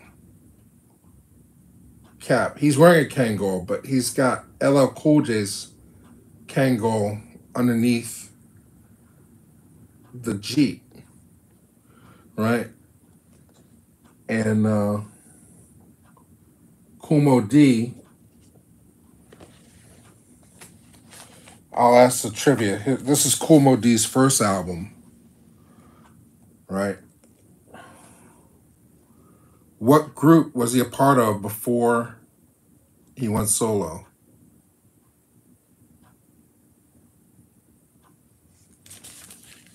What group was Moe Dee in? Where's LL now? I think LL did all right for himself. So 12, 12 inch stuff in. Treacherous 3, very good. Thank you. Bob and Chris nailed it. So at one point, oh, this is a Public Enemy 12 inch. What's what's on it? Prophets of Rage, power version. And then what's on the flip? These guys were so innovative. When they first came out with them, they because they had the the one sided die cut and then the Def Jam on the back. They would say this side, that side. Oh, this is Don't Believe the Hype, the Rhythm, the Rebel. I might have to give this a play. Um, the A side is Don't Believe the Hype, I think. Or maybe it's a double A side. This A side is Don't Believe the Hype. The B side is Prophets of Rage. Yeah.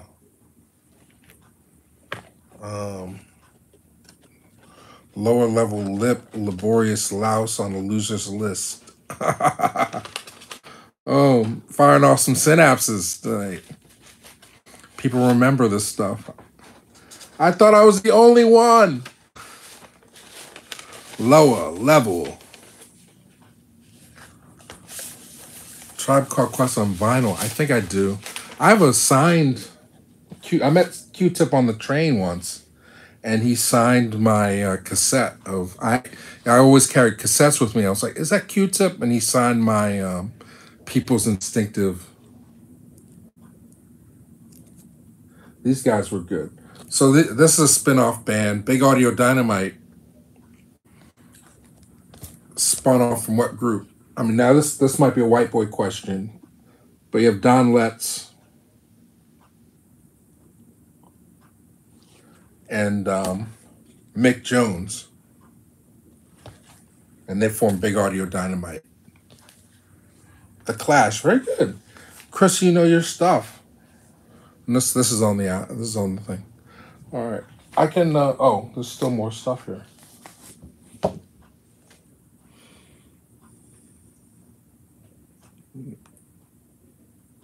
Trying to think. I'm disappointed. I had a Jungle Brothers album, and we filmed the Jungle Brothers. I forgot to bring it with me to the show to get signed. So my scam period, and then um,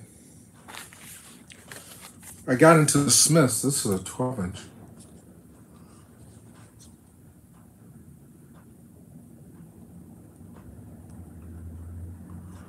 Um, I have a little bit of Dick Gregory footage that I'm holding, but um, it's not relevant to anything. Signed MC Breeze.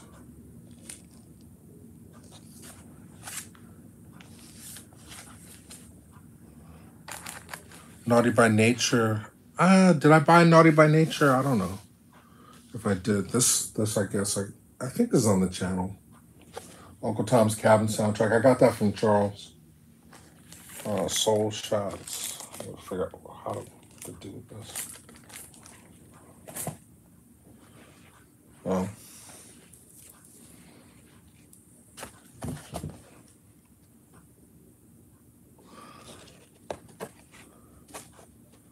Cool C stepped on the three times dope album cover.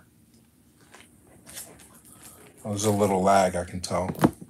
Kraftwerk. I don't have Kraftwerk. Oh, that's a little before my time. I mean, Trans Europe Express. I mean, everybody knows that song, but I wasn't buying dance music in 81, 82, so I, I just missed it. I'm not sure if this is on the channel yet. I gotta check. Reverend Jesse Jackson, Our Time Has Come, Democratic National Convention, 1984, July 17th, 84. So that's what, 40 years old. Uh, Laserdisc.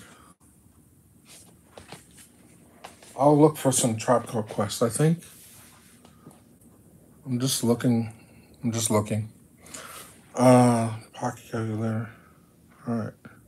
Run, Jesse, run. Somebody's on Eddie Murphy tonight. That's the second Eddie Murphy quote. Oh no, Run Jesse Run is from uh, She's Gotta Have It. H- Hang on. Molly, take over. I'm gonna look for this Tribe Called Quest and then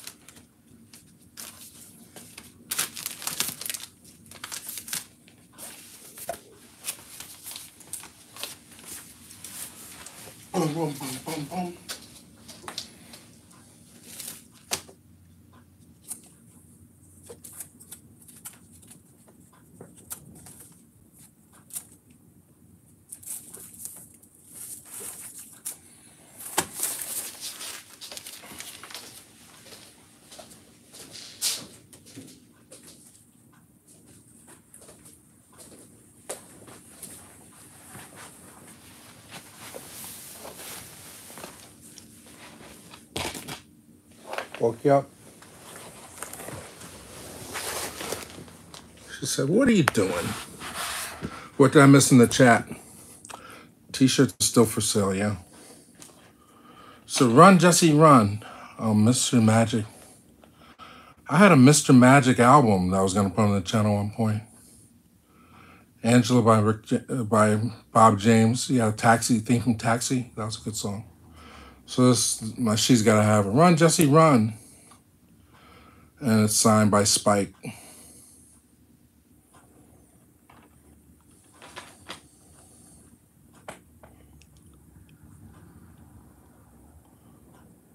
Uh, Molly's thinking. Cocteau Twins. No. You know what I do have? I don't have Cocteau Twins, but I, I have a New Order album here somewhere. Like it still has this OBI stripe. It goes for, it would go for a lot if I wanted to sell it. If I could find the right buyer. If you sell to a, a, a dealer, you get nothing. But um,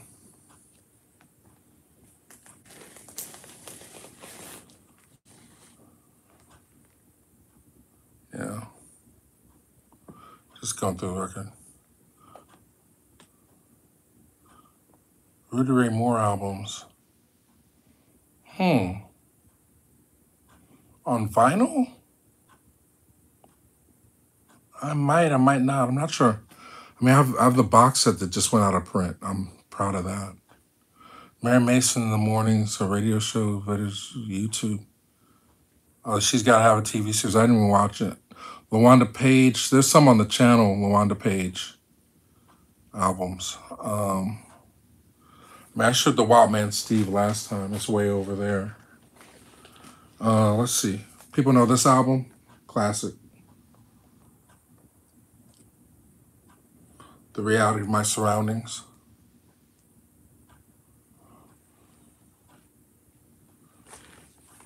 Oh, I'm running out of space. Hey, okay, you've been sweet. Quincy Jones, yeah. Layla Sch- Schifrin. Fishbone, yes. This is one of my favorite albums of all time.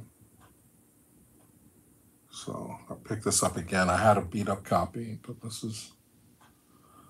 I only paid five dollars for this. This is a classic. I love this album. Stevie Wonder presents Syreeta. So, oh, you need to see the back.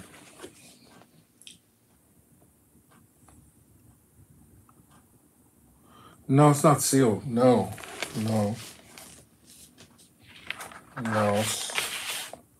It doesn't even have the Motown jacket, so it's re redone. It's been played a lot. I, I picked up used um, when I was in New York a few years ago. They had a, a little record store. This is my original copy when I was a kid. This is one of the first records I ever bought with my own money, 1974.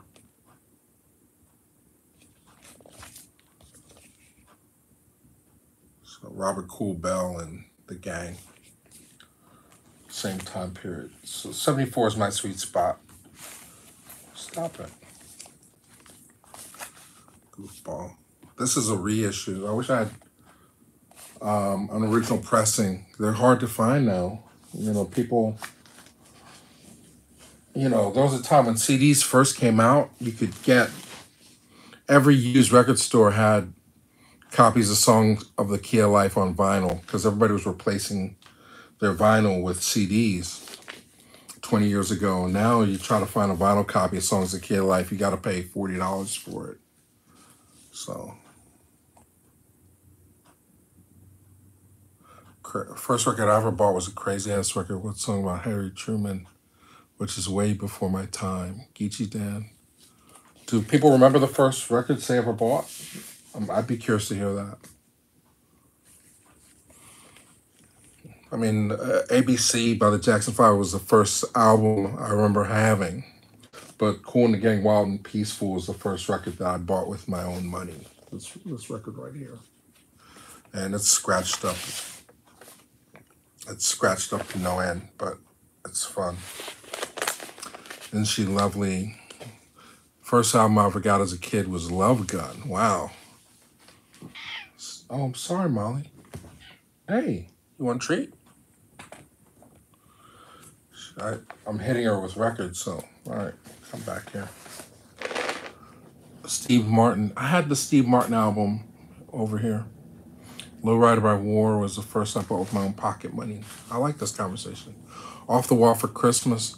I have a really fond memory of getting Off the Wall for Christmas and listening to it with my cousin. And we, we, we sang it together. We had the lyric sheet. I was about 11 years old and we went through the whole album in my bedroom and, and we listened to it and we sang it together. Heatwave. I didn't I never bought Heatwave when I was younger. Um, Molly isn't nostalgia. Off the wall. I have off the wall over there too somewhere. Duet with Jermaine. Yeah. Okay, Molly. You gotta. You, people want to see your face. People want to see your face. Up here. People want to see your face. She's cute when she reaches in. Ben, any Prince albums? I just showed Purple Rain. And the and the bootleg. The bootleg was over here. Okay. You got enough?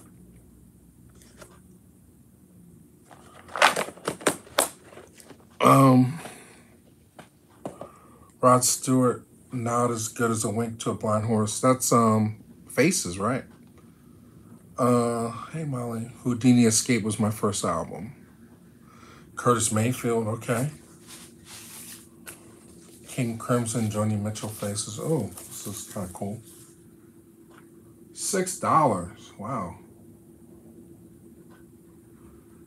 This took a long time to come out. I don't know if people remember, but um,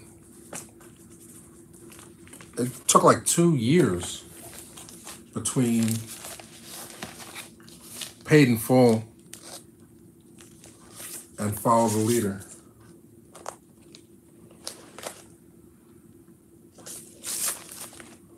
No mistakes allowed. Love Rakim. One one of the joys. It's another spin-off band. Fine Young Cannibals. Who okay. Spin-off of uh, English Beat.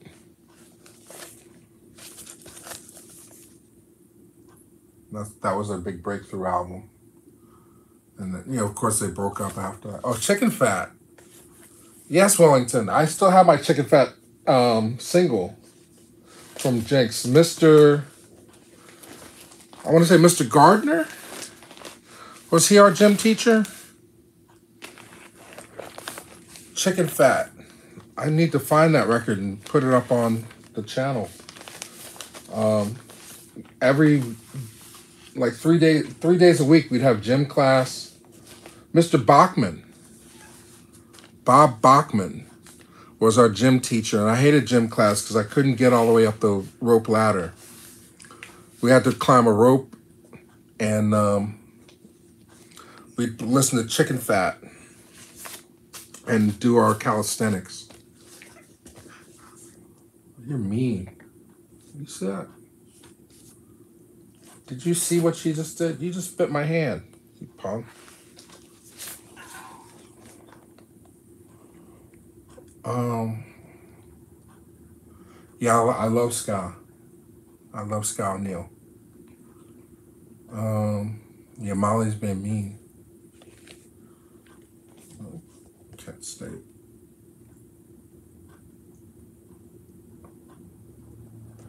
Molly has no teeth. Oh, did, was I not supposed to say that? Some somehow Molly lost all of her teeth. Let me fix this before we move on. Oh, now she's done. She's done with me. You snitch. Um, Slick Rick. Slick Rick. I never bought.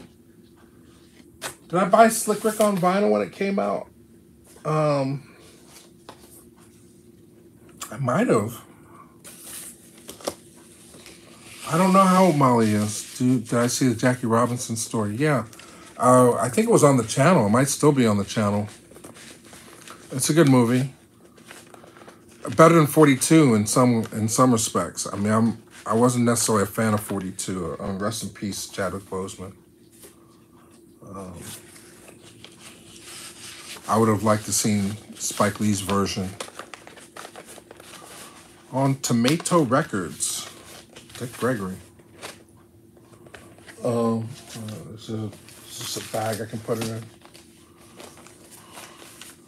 Exercise by Robert Preston. No, it's not Robert Preston. Is it?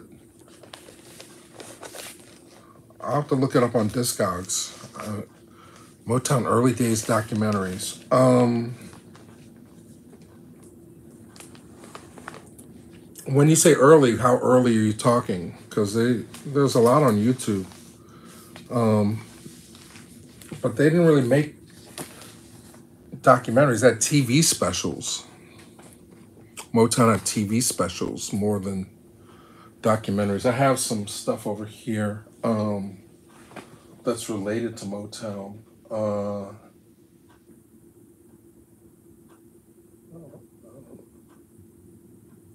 I pull, uh, so you see the Soul Train, right? So you got Midnight Special. That's big enough to see. And then down here, Soul Train. Um, ready for the word digital display. I like that song too. And Berry Gordy got started in Detroit and moved to LA. Good question. I mean, I don't know if there is a documentary. No, it's upside down. This for a long time. This was the only Parliament record that was in circulation. They were all out of print at one point. I mean, now you can get them on Spotify, but um, you couldn't get any funkadelic for a long time, and then this this came out. So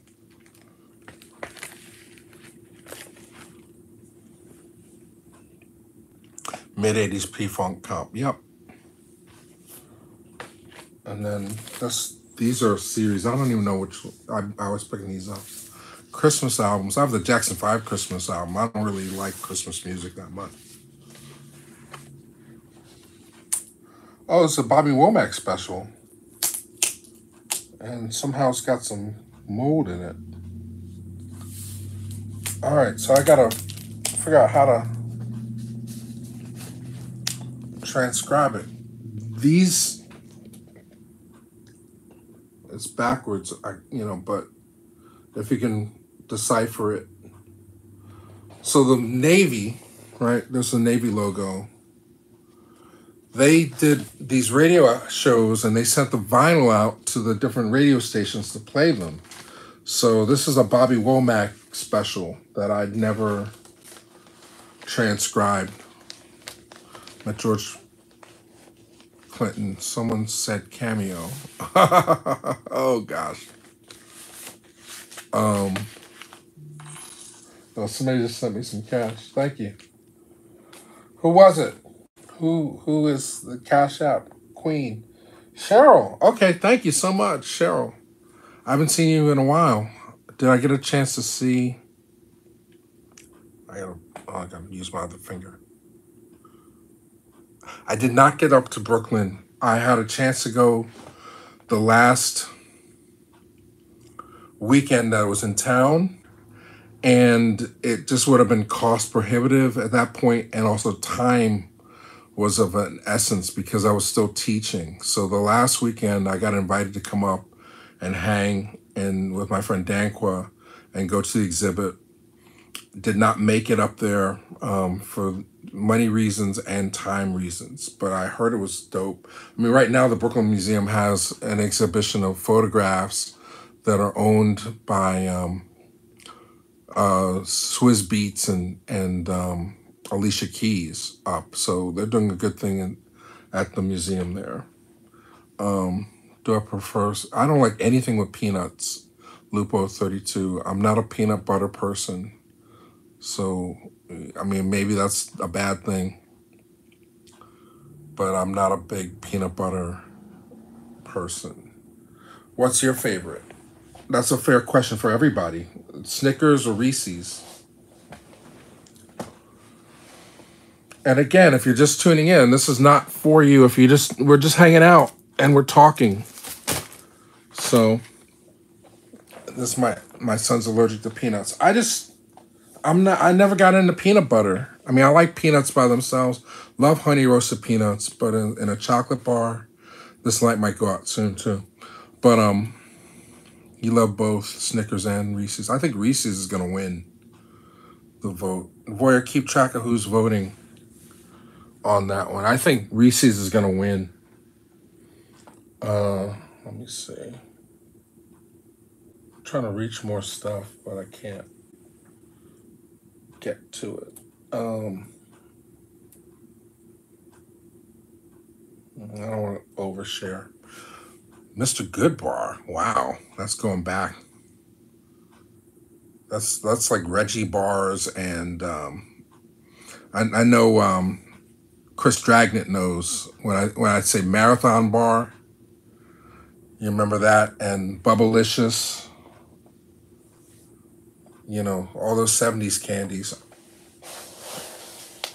Bubblicious, freshen up gum. A hundred thousand dollar bar. Yup. Candy talk. Yeah, okay. Well, looks like the chat's moving. I'll talk candy for a minute. Uh, Mr. Goodbar got the best tasting milk chocolate. Bubblicious. Mamba. I don't remember Mamba, Angie. Mamba isn't isn't that whatchamacallit, I don't remember. Mamba was that is that like a that's not chocolate though, right? Mary Jane or bit of honey. Freshen up gum. If they made freshen up gum now, it'd be it wouldn't have the same squirt. Like I, I don't know if people I feel like people are of the generation that I am. So we can talk I don't have to explain. Oh Mamba, they still make Mambas, yeah. I've had Mamba. Um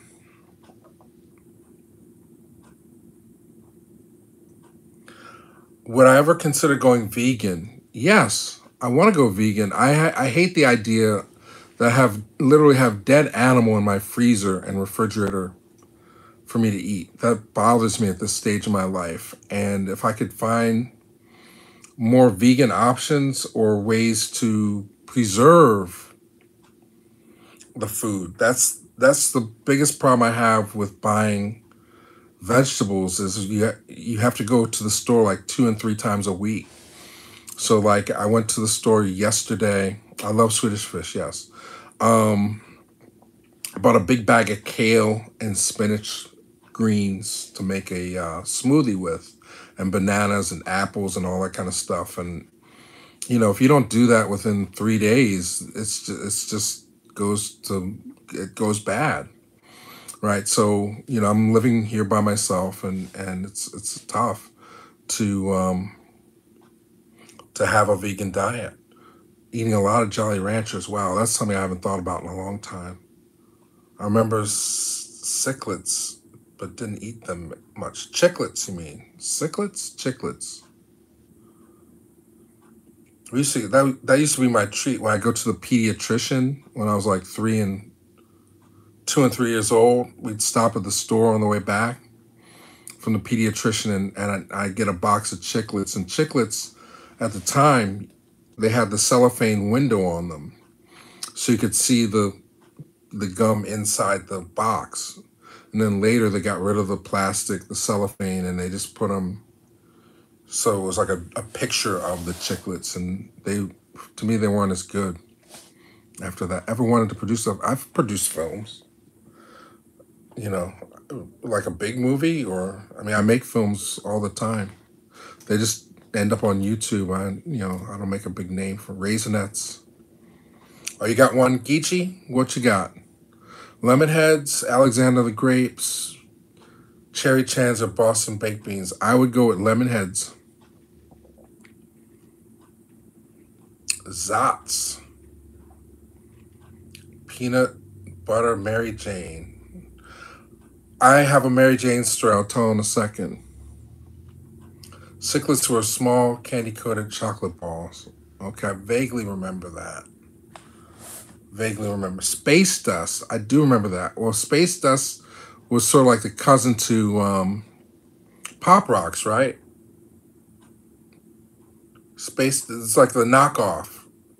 Space dust was knockoff to like Pop Rocks were popular, so I said let's come up with space dust. Powdered powder cane that fizz when you put it on your tongue. Space dust turned into gum. Okay, thank you. What's my favorite food movie? Right off the top, I think one of the best movies about food that I've ever seen. I've never seen like Water for Chocolate. Never seen that one, but to me, Eat, Drink, Man, Woman is a great movie. When you talk about Fun Dip, okay, you bring it back. Fun Dip was fun because you licked it and then you stuck it in the, s- the stuff and then you licked it off. Big Chew, Kit Kat, food film, Sausage Party. I took my mom to see Sausage Party. I don't know what was on my mind. I took my my 70 year old mom to see Sausage Party and she loved it. I'm like watching all these little uh, these characters curse at one another and I'm like, what did I do? because they're, all having sex with one another, and I'm sitting next to my mom, and she's cracking up, and I'm like, I, this is so inappropriate. What foods do I? I don't think I hate eating anything. I don't hate like that, Alexander. But um, you know, if it's something I don't like, I I just don't eat it. I'm not a big seafood person in, in that respect. But um, you know, I like Chinese food probably more than any any food. I'll probably eat more Chinese food in a year than I do any other kind of food. Um, oh, the story I was gonna tell was um let me go back. I forgot what it was I was gonna say. Uh Big Night. Oh, Big Night's a good movie. Like Water for Chocolate, Fun Dips, Smarties, Red Vines, um, Rocks. Oh, I was gonna tell a story about my grandmother, right? So as you get older and you're less mobile, you can't just go out and do what you want. You got to rely on other people. She wanted Mary Jane's, and my mother got into Mary Jane's too. And I would, and they'd be impossible to find, right? So the Mary Janes are like these little peanut buttery candies that are wrapped like penny candies, right? And I guess she remembered them from her childhood and she wanted some. And she'd always ask me to get them for her, right? So anytime I would see them, I would grab like a little bag of them at the supermarket. They'd have like penny candy at the end of the aisle in like a little bag. You might get 20 pieces or something like that, maybe 30 pieces of it. Right. So every once in a while, when I could find them, I would bring them home. Then Amazon comes out, right? And I found that you could order what they order at the penny candy store, like a bucket, 240 pieces of Mary Jane's, right? In a big barrel like this. So I said, well, this this will save me time, right? I'll get them from my my grandmother, right? And um, so I ordered these things, 240 Mary Janes. How long do you think it took her to go through the whole barrel of them? Less than a month. She ate a whole 200 pieces because they were sitting next to her chair in the living room. She'd watch TV and she'd eat these things. And um, I know she gained all this weight. She had like a belly after that, and she never got rid of it. I felt so guilty. You know, like she had like this little tummy because she ate all these Mary Janes so fast. Uh, You know, so I had to stop. Fake candy cigarettes. Well, they banned those candy cigarettes. I like the ones that you could blow and some of the powdered sugar would come out of them. The gum ones, because they had two different kinds of candy cigarettes. They had the ones that were like all made of candy and they had like the little red tip on the end, right, Chris? And then they had the ones that were like made out of gum that was wrapped in paper and you could act like you were smoking the candy cigarette and then you could blow it and a little puff of powdered sugar would come out the end like it was smoke, right? Chalk candy, yep. Why they didn't want kids pretending to be smoking. That's why they banned them. You know, they didn't want to promote the idea of kids smoking cigarettes. So just like they got rid of you know toy guns, cap pistols, you can't get a cap pistol anymore. Um, for the same reason, they don't want to promote violence among kids. You know, so like if kids want to do that, they have to either get a real gun or play a video game now. I was seven, eight, smoking candy once I got candy chomping down. Blow pops. So all right, so Tootsie Pop or Blow Pop? Who? What's the preference? You can still get cap guns, not not like the ones we used to play with. I'll tell you, when I was like when I first started out with the cap gun, they had the roll of paper caps, and then around eight or nine years old, they had the the cap revolvers that were plastic caps, and they were louder, and they they made more noise. But they're like little round plastic caps with loads of gunpowder in each one. Right? I had all the guns. Blow pop, then the gum reward, but the gum was trash. Okay, cap guns was something else. We would rock drop a rock on the whole entire roll of caps. Yeah, you could light the you could light the caps, or you could just run a quarter across all the caps and make them explode. Yeah, I remember that. You're bringing back memories. Yeah, you take the the the caps and you lay them out on the street, and then you take a coin and you just slide it across and explode them all.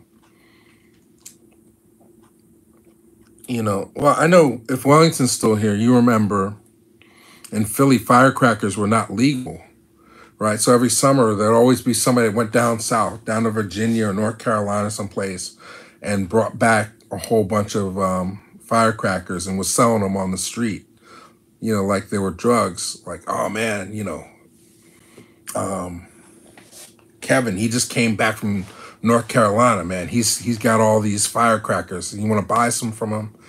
And then um, eventually, we discovered that there were some stores, some Asian-owned stores, that um, would sell you firecrackers, even though they were illegal. You'd have to you'd have to go in and like um, like with you'd have to have like a password or something. You'd have to know what store to go to there was always some Asian dude in the back, and he was he'd sell you a brick of firecrackers, and you know this is these this is before people started losing fingers and hands and stuff. They were like really basic firecrackers, right? But um, oh, snap caps, yeah, those were legal. But we didn't call them snap caps. We called them something else. But yeah, they were like little paper things. Yeah, not M80. Well, I remember one guy, he brought an M80 back from down south and he put it in a mailbox. Party Poppers, that's the name. Yep. Poppers.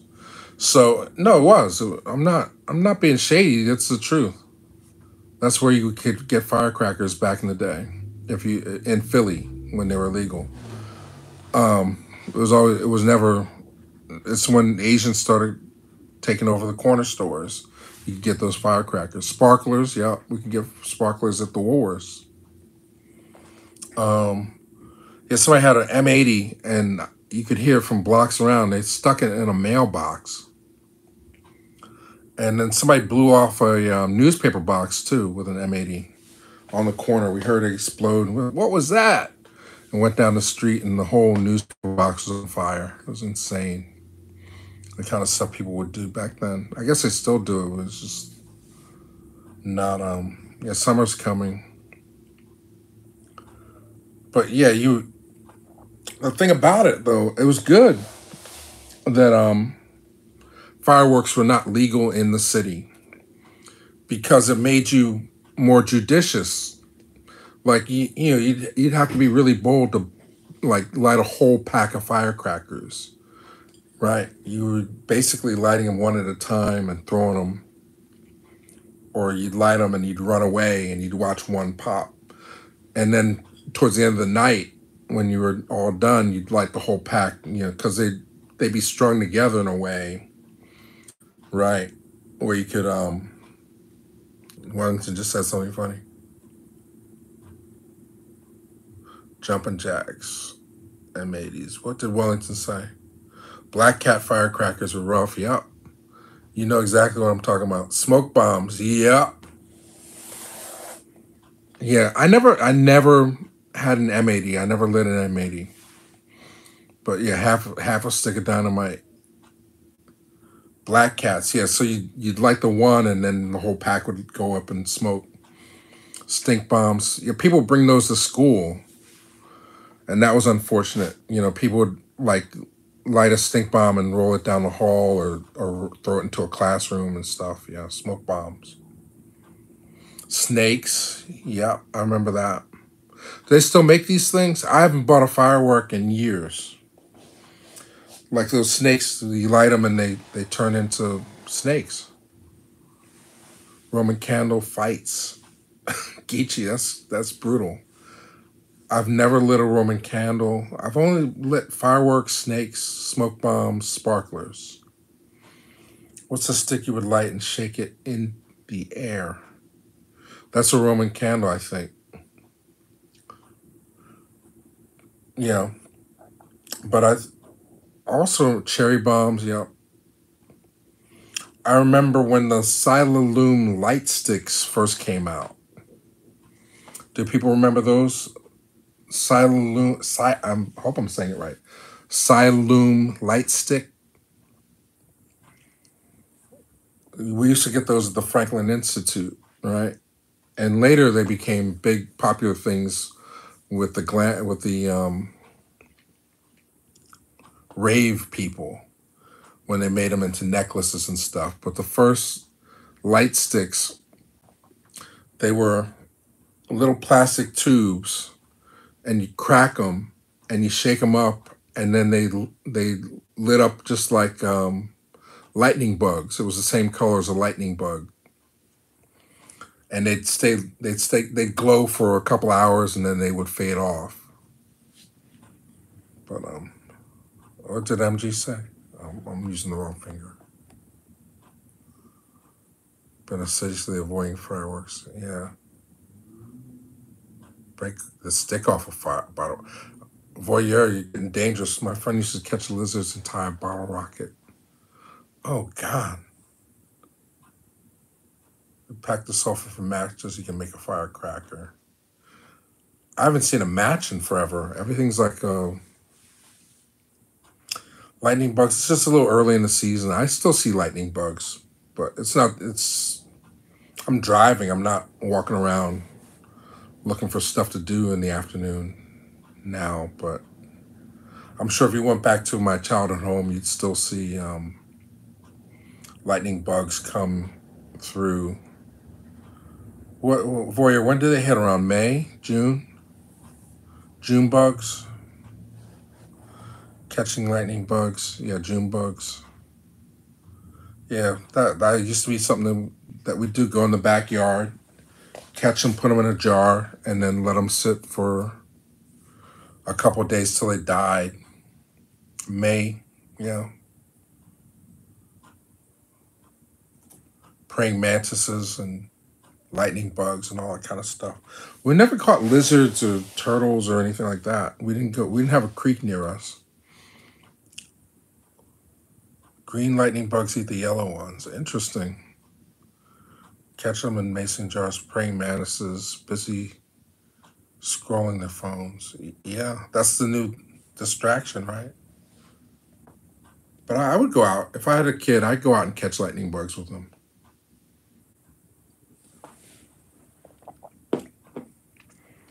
Frogs. Where'd Molly go? She got mad. She got tired of me. And more vinyl. Make a paper football field on paper and make ants play. Well, I remember playing football. Like we'd fold up a piece of paper and then we'd make it. We'd play football on the desk. We'd slide it and then we'd set up our fingers and then we'd have to kick it through with our fingers to score points. Anybody else do that? Paper football.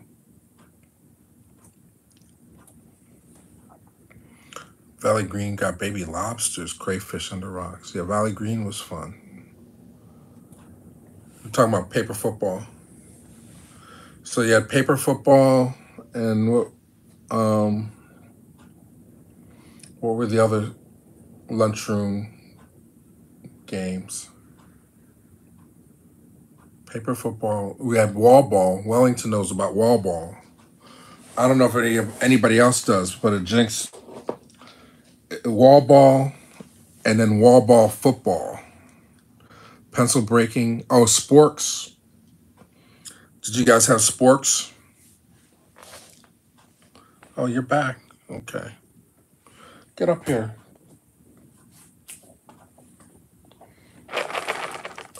Wall ball, yeah. Um, Wellington, explain wall ball while I, I feed.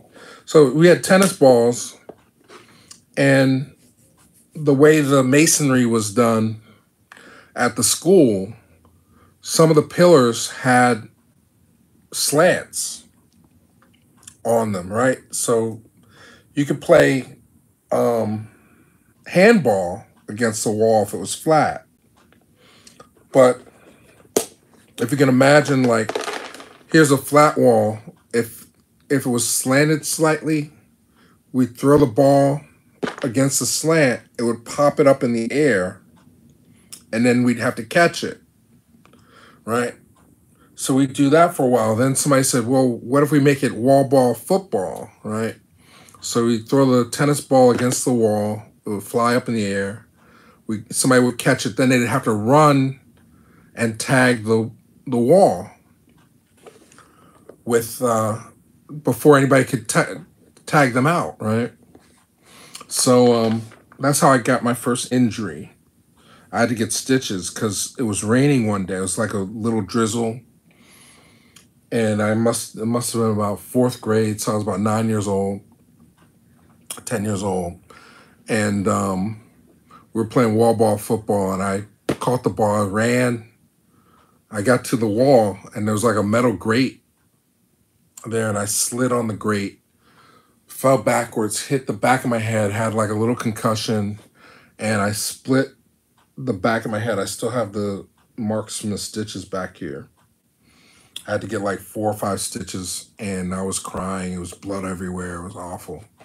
But um, wall ball football, that was one of our sports that we played. Up higher so people can see. All right. Hot ball is the same as dodgeball. Up high so people can see. Battle scars. Yeah, I got I got I caught another one. All right, get down. I caught another one on my thumb. It's still there. That's a cat scratch. But if you look closely, there's a scar here. I didn't get stitches, but it, it didn't heal 100%. Um, we were out in the woods, and I just heard about you could break off a bottle and stab somebody with it. Somebody told me a story about that, right? So we're out in the woods, and um, I broke this bottle, and my dumbass tried to stab a tree, and it cut back on me. The bottle collapsed, all the broken glass collapsed on my fist, and it cut the thumb wide open. And you can imagine how freaked out my grandmother was um, when uh, I came back. We rode our bikes, and blood was dripping all the way, you know, back home. I had to wrap it up a little bit, but blood was dripping everywhere. It was all awful. And then, you know, what what did you do that for? Why would you want to do that? um, that's not the dumbest thing I ever did. The dumbest thing I ever did. My grandmother, she just got a Thunderbird. 77, 76, 77 Thunderbird, white Thunderbird. And um, back then this is when they had ashtrays and and and cigarette lighters in the back seat right? So on the door right? So i'm sitting in the back seat and um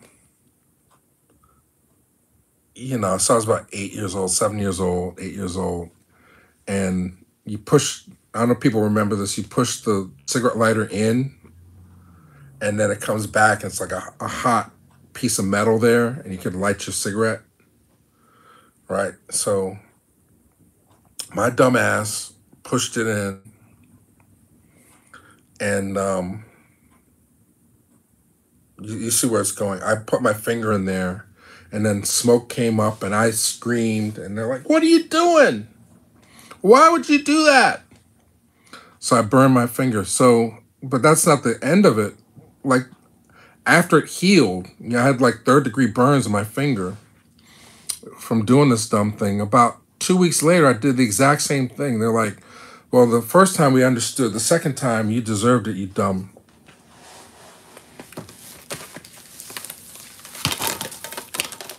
Let's see what else is here.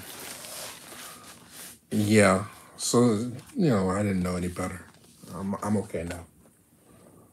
It's an ABC compilation.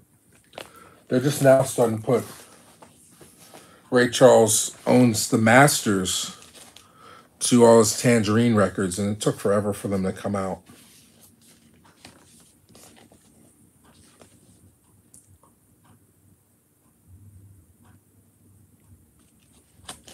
So, going back to Cali and Jack the Ripper. Russell Stover over Whitman's. Interesting. I'll take Russell Stover. Oh, somebody mentioned Flip Wilson earlier.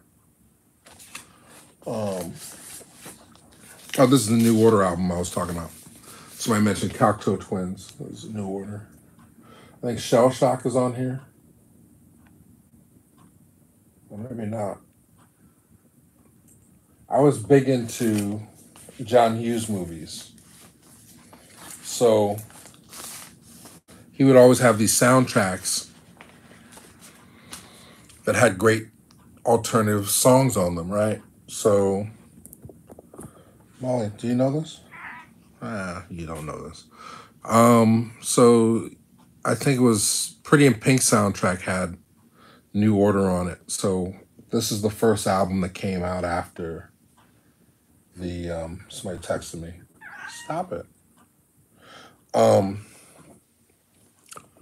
first album that came out after Pretty in Pink, so that's why I have it. But uh, I don't listen to it that often.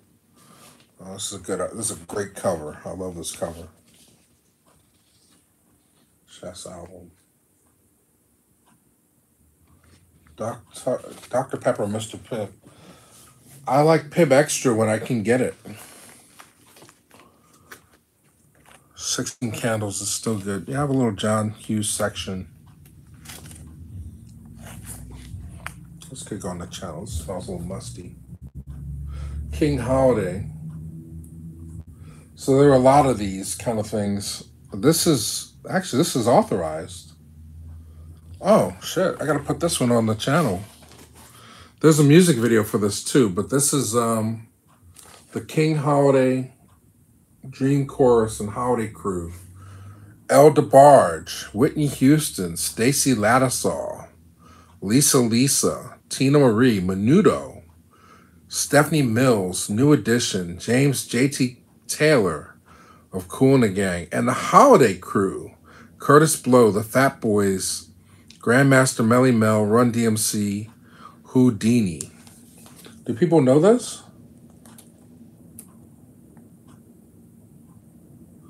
So this is when they were trying to get a holiday for Dr. King. They put out a record. So we'll have to do something with that one. Yeah, the music video. I wish I had the music video. RC Cola. This is still sealed. This is a reissue. I just haven't gotten around to it.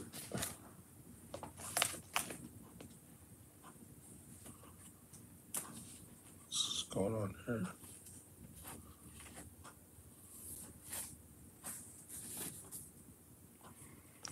And Tab, Canada Dry, King Hardy. Sound. I'll have to listen to it. Dooto Records, Black Entrepreneur, Black owned record label. He he went around recording comedy acts. Dootsie Williams.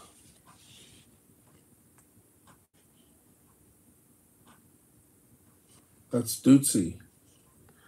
And he discovered Redd Foxx, basically, in terms of putting him on vinyl. Dootsie.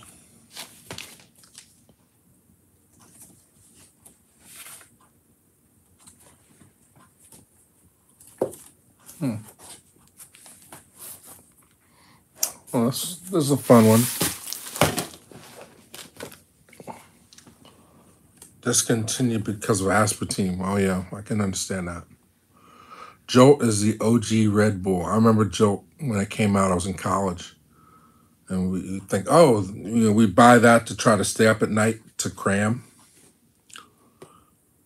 Liquor Hereford Cow came in vanilla, chocolate, and strawberry.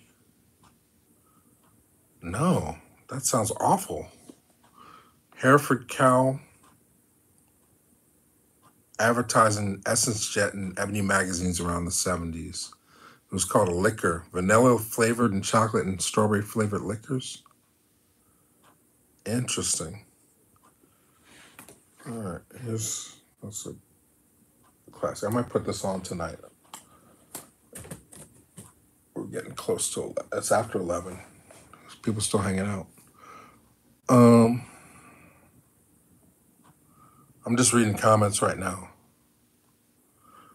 Root beer. I love root beer. Channel 48. Yep. Wee Willie Webber. Slice soda, apple slice. I remember that. Now you you speak in my language. Yeah, there was another flavor, apple slice, and then years later there was an apple flavored soda that came out later, and it tasted just like apple slice. Just like um, there was a blue one, Blue Sky soda, that was out in the '70s also, and um, it was like a a blueberry kind of thing. Blue Sky soda. Anybody remember that? Applejack Guzzlers. Just woke up and have. Hey, Evelina. Stevia is plant based. A 23 trolley. Yep.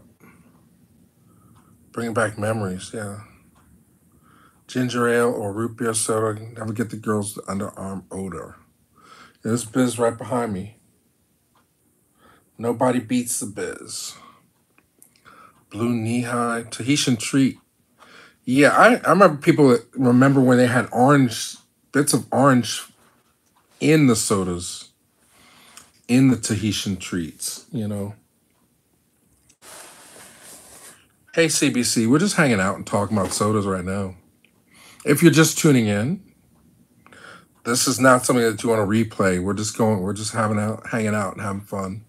And maybe we'll go another 15 minutes or so. Does that make sense? Sledding down Water Tower Hill on cardboard. I remember that. What? Cherry Coke with a lot of ice. There was a place. Well, Welling- well, Wellington didn't go. I think it's called Mario's Pizza. It was right across the street from Central High School. And it's still a pizza place across from Central High School, but it's not the same owners. But they had a soda fountain there, and you could get them to make a cherry Coke for you, right? Or a cherry Pepsi from the fountain drink. Like they pour half a Coke and then half a cherry soda. It's like the best, still to the to this day, one of the best sodas I've ever had. Any Brazilian black art or culture? Not necessarily. I've been to Brazil, but I, I can't say.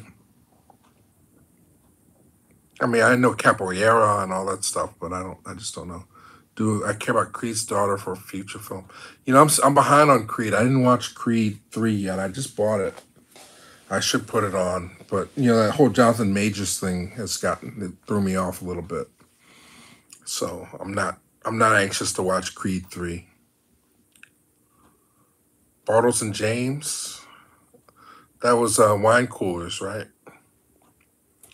The pop shop, mainly in the Midwest. You can make a bu- business out of anything. Seagram's Wine Cooler, Boone's Farm. Good to see you back. I've been teaching gym, so I haven't really had the time to come on and, and just hang out.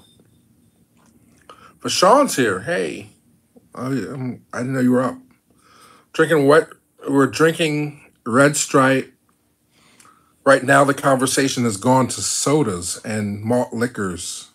So we're talking about Zima. Zima's interesting because it's sort of like a knockoff of uh, Ouzo, which is a Greek alcoholic beverage that, tastes like licorice.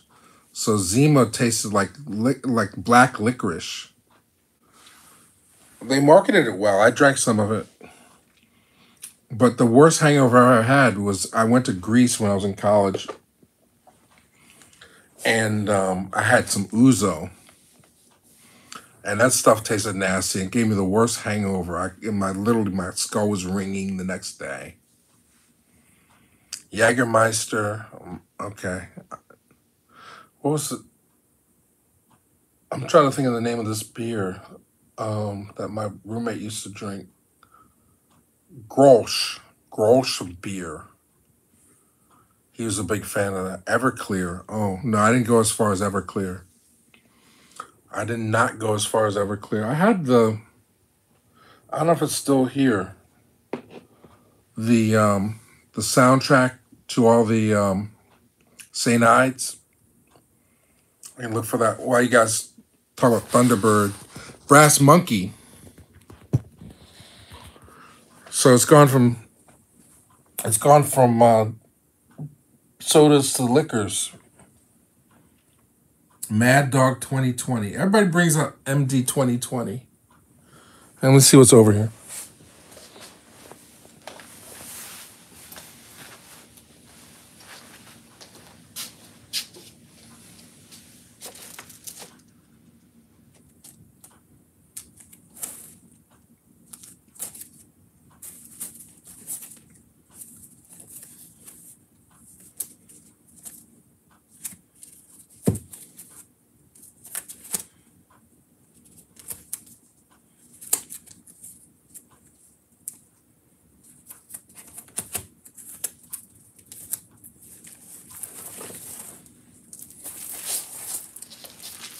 You're good. You're being good. Keeping good company. Cross colors commercials. No. I'm sure there's some on YouTube.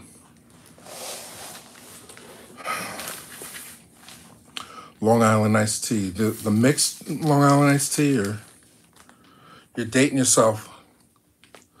You're like my my mom, like we'd go out and she would ask for a Shirley Temple. And I'd be like, no. She's like, do you have a Shirley Temple? No. She, just embarrassing me. She'd like to find ways to embarrass me in public. My mom. Miss her so much.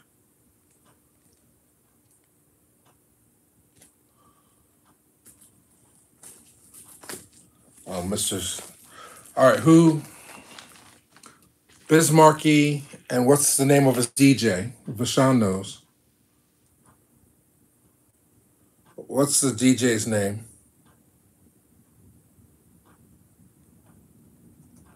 Well, sure. Well, everybody's Shirley Temple's different, isn't it? Cool V. There you go. Chris Dragnet. Very good. More Prince.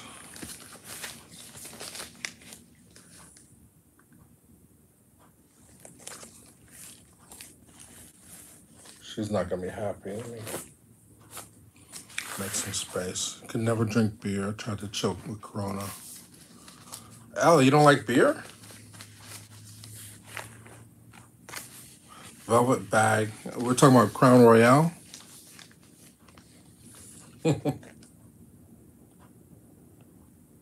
Cool V. There you go. All beer tastes like it's a it's an acquired taste. But isn't it a rite of passage to get used to the taste of certain things or cigarette smoke or whatever? Oh, this is signed. Interesting. Oh, they're both signed. Wow. Okay, hang on. KRS One is going to be performing in Philadelphia next weekend. By the way, next Sunday. I'll be at the KRS One show. But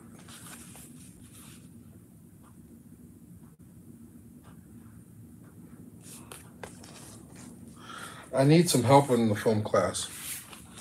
This I had, and I didn't realize I had it here. Um, I could have gotten it signed by the Jungle Brothers. I missed out. Just like last night, I had Bruce Bruce, and I forgot to bring my Bruce Bruce DVD. Oh, you want to see Cool C again? I'll see if I can find it. Uh, back here. Hang on, let me get through these. Classic. This is this is some great mood music. I don't know if it would still work, like with with these hoochie chicks. I think they just want to hear Cardi B. But um, great date night album. Is it still sealed? This might be sealed. No, it's not sealed. Classic. Earth, Wind, and Fire. Not really. I don't have any Earth, Wind, Fire here. It's a little jazz. Uh,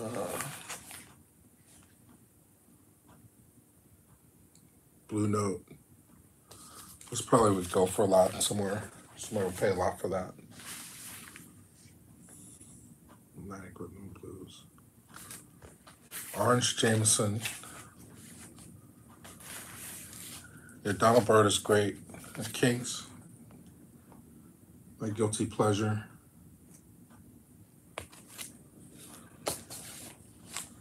Oh, this could be interesting. This is a interview album.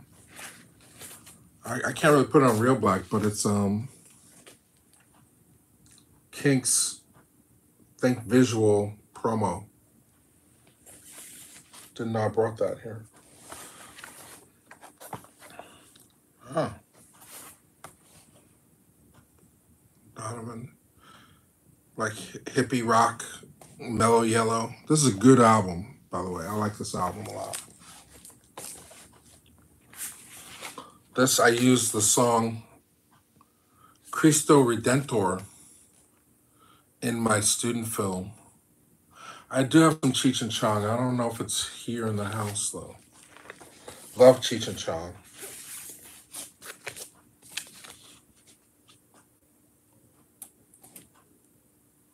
Get a mailbox.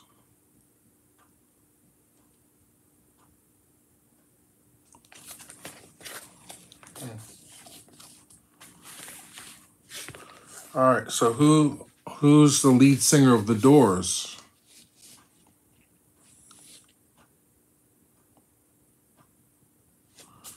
What did what did Neil say? I gotta go back. Jim Morrison. Very good. Old hippies don't die. We just go up and smoke. That's funny.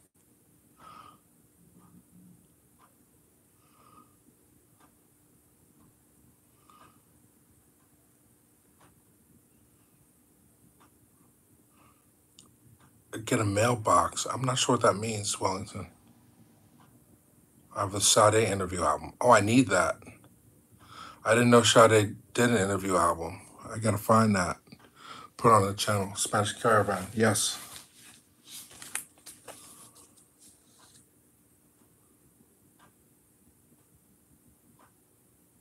This is the alternate cover. This is the British cover of um,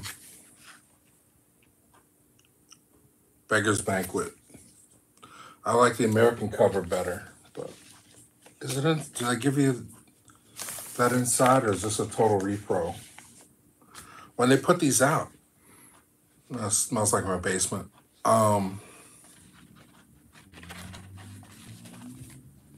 same inside.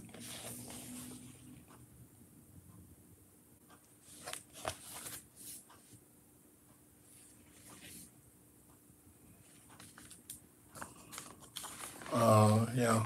I like the other with the cake. Beggar's Banquet with the cake cover. I guess they couldn't show a toilet back in the States. This was really pushing a, a boundary to show a toilet back then. Love the Stones over the Beatles. Not a really a Beatles fan. I, I would say so too. Rashawn, you still here?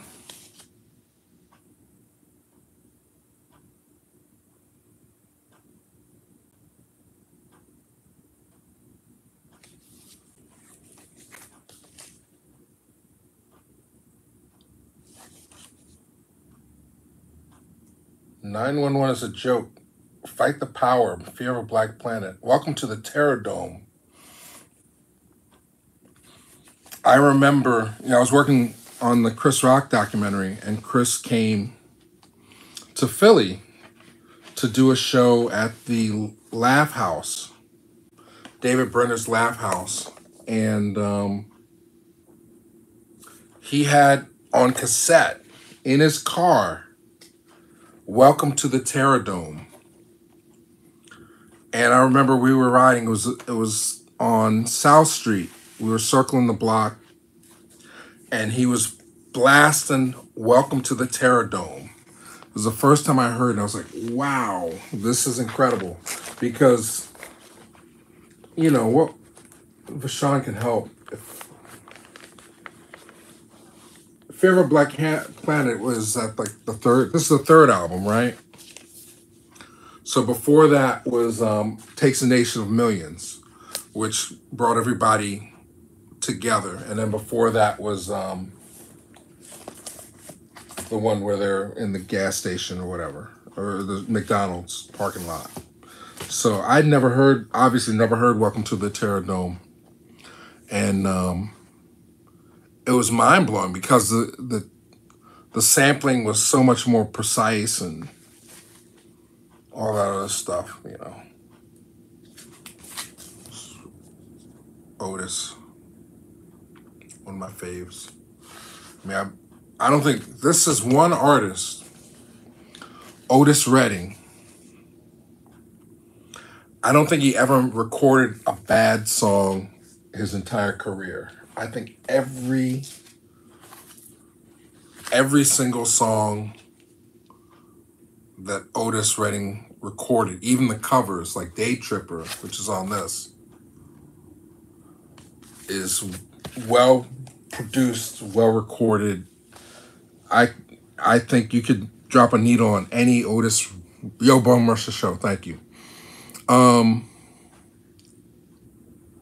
on any Otis Redding album, and you're you're not gonna lose. I don't think he ever made a bad record. Um, yeah. Yo Bum Rush the Show. Is it over there? Molly, do you mind taking over? I'll I'll see if I have if if that's the case, I probably have all my PE over here. Let me see. We're almost done. All right, take over.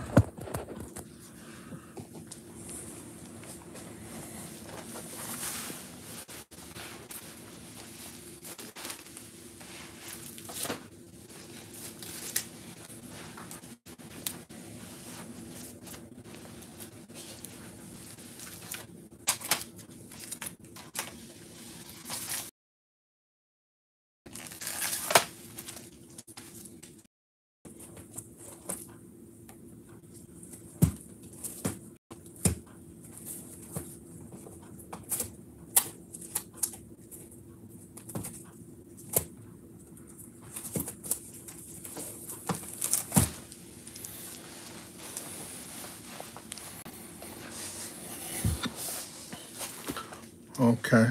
People are tuning out. Did Vashawn? We got about half the people from the peak. Vashawn still here? Second is better. Yo sounds like they're from Long Island, not as polished. I agree. I mean, I I, I like all. Well, the first. I mean, take takes a of millions is just on a whole nother level. But I I'm a true fan of Public Enemy. I remember my first introduction to Def Jam recordings was um, the Beasties had a single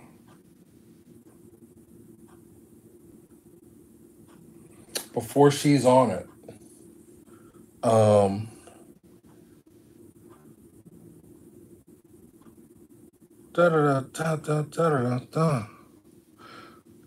Remember the first Beastie Boy single? Oh, it's called Beastie Groove. Well, not not not on Def Jam because they had they had Cooky Puss before that, but Beastie Groove came on WKDU. It was like one of the last days of school, my senior year, and we didn't have anything to do but show up because all the assignments were turned in and everything. So we were just sitting in the class and we had the radio on, and you know I'm in the rap obviously at that point in time, and then you know it's a ACDC sample, and um, Beastie Groove comes on. I was like, what What is that? And I had to track that record down. I found it eventually. Nobody had it. Nobody was carrying it. I had to. I eventually found it in New York, I think, or maybe I got it at Sound of Market Street. But I was so happy to find that record, and then months later, um, License to Ill comes out, and um, that record kind of changed my life in a way, you know, because it, was it was so well done, well, pa- and Rick Rubin. Well, you know, it was a double. It was a double whammy because it was um, Rick Rubin also did the LL Cool J album, and um, there was a jukebox at Mario's Pizza across from Central High School, and they had uh, "I Need Love," and I think the the forty five because you know on a jukebox they played both sides. You could pick either side of the record. I think "I Can Give You More" was um, the B side of "I Need Love." So I um I used to like to play the B side when I first heard that song. "I Can Give You More." I was like, wow, this is really good. And it always Rick Rubin, you know. So I mean, who doesn't have this in their collection? I'm on the fence. I mean, are you, this is considered one of the best albums of all time, right? You know, changed a lot of people. Yeah. Nah, nah. It's a good album. I mean, I you know, it's a good album. All right.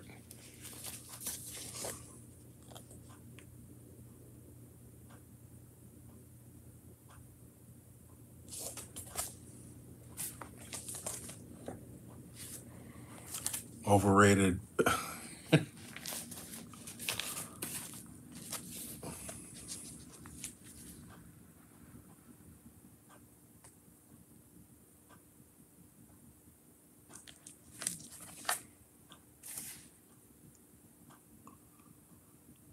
Survival device. I missed that. I didn't get that joke.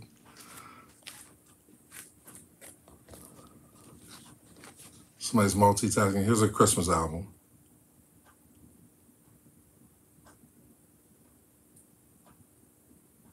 Oh, we- we're not gonna get to Wayne Newton today. Oh, oh, this is this needs to go in the trash.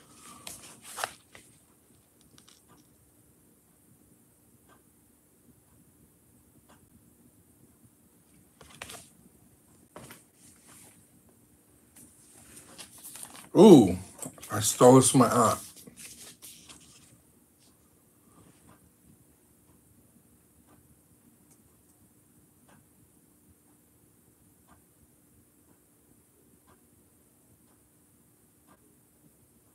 Okay, that's cool. No, I was like, I know I didn't make a flotation device. It's all good. Survival channel. Lenny, Lenny looks good. I wish I'd stayed vegan and dated uh, Lisa Bonet when I was 20. Married Lisa Bonet when I was 20. Lenny, Lenny had a blessed life. And that's Dave Davies son that when I interviewed him. Big Kinks fan. What's interesting, this is this got a BB in it, right? They used to put BBs in the cutouts. And this is a mono pressing, so look that up.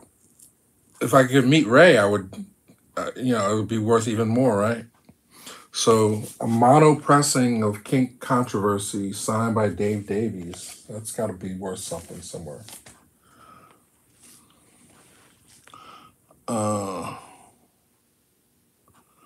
what are BBs? So um, instead of punching a hole through the record, they shoot a BB through it to to avoid it. You know, sort of like crossing out the barcode nowadays or scratching the barcode. It would just indicate that it was it was a remainder copy with the BB as opposed to an original pressing. So that's that's another. And this might be stereo. Yeah, this is stereo.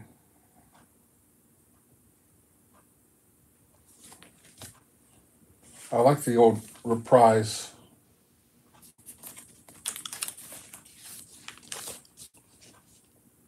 It's British pressing B sides.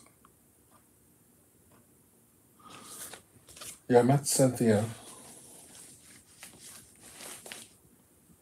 She was great. Uh, you see that interview? Taste of Honey. Yeah, there is a video where I get that signed. You're very good, Voyeur. I'm I'm I'm amazed. Misfits. Uh, I was my what's my favorite Kinks? I I like uh um give the people what they want from that Arista era era.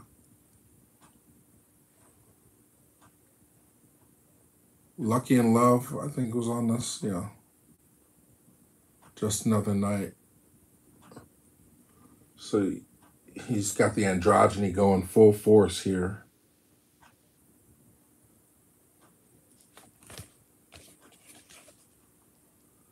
And what's amazing, he's still out there doing it. Oh, you met Prodigy? That's awesome.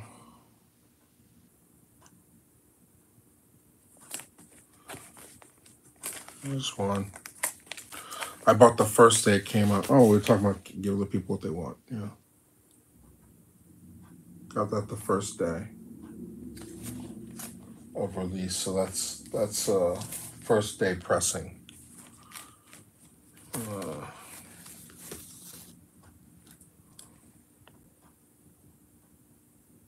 great album. Still relevant. Uh, yeah, yeah, I got a lot of vinyl. I gotta straighten it out. African folk tales. I think some of these made it to the channel um, before we stopped doing them. Um, hey, sorry, buddy. And then th these got me through. Oh, okay, good way to close. Atlantic Rhythm and Blues. This was a great series back in the day.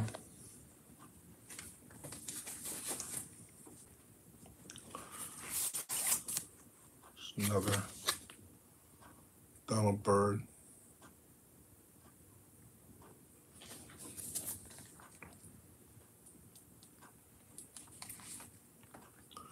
I need help to get through the summer, Chris. Yeah, listen, this everything's kind of out of order. Um, I have an app that keeps track of my um, my DVDs, thankfully, but vinyls. All right. That's what I was looking for. Hey, Jibba Jabba. Thank you. So this, is earth shattering. And then on the back there at the McDonald's with the 98 four the 98 Oldsmobiles. I mean, they were scary. These were some scary Negroes when they first came out. Glennie Friedman artwork. Yeah. So now they're flavor of love and all that other stuff. They're very mainstream, conventional. But when Ice Cube and Public Enemy first came out, they were frightening. Dire Straits. I never bought that album. They were good. I mean, I watched the videos, but it wasn't music that I bought. Maybe I did buy a Dire Straits album. I mean, you know, you, we listened to everything back in high school. It was, it was not as segregated. My musical taste was not as segregated in high school, as you can tell by the vinyls. But um, Devo, my friend was really into Devo. He had all the Devo albums. I didn't have Devo. Elvis Costello, I liked. Yes, MG. Elvis Costello. I had the, every day I write the book. That was a good album. Punch the Clock.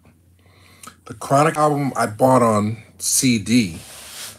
If I bought the vinyl on Chronic, man, that'd be worth a lot.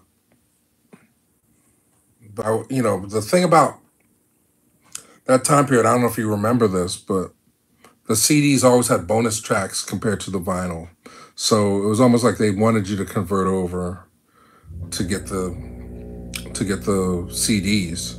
So like Biggie on vinyl, I didn't buy that. I bought the CD. I think I bought the cassette first and I bought the, the CD on that. But you know, by I mean all this stuff is like 87, 88, 89, right? By 90, 91, I was full into CDs. Do I have the DOC? I do. It's some I showed it last time. Uh I think I can find it. Uh, I'll, I'll let you take over. I'll see if I can find the DOC, and I'll, I'll tell you a DOC story.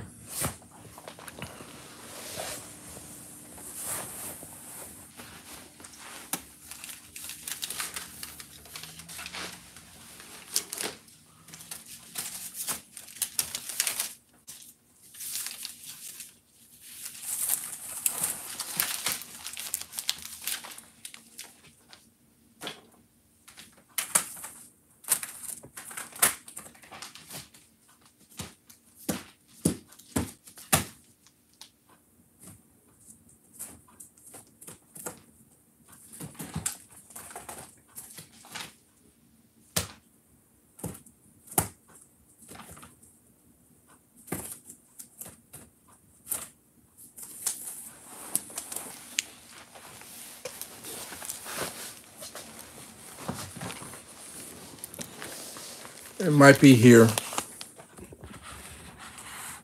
Let's see. MG.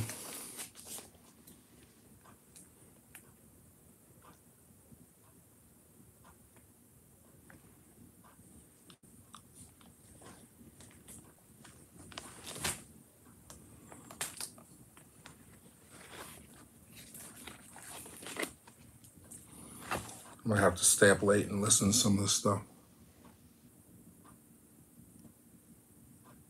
I need to get this signed before it's too late. I mean, Schoolie, I need to get Schoolie back on the show.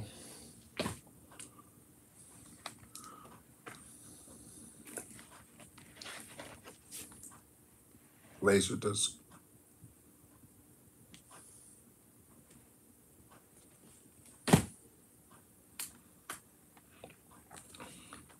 Great album.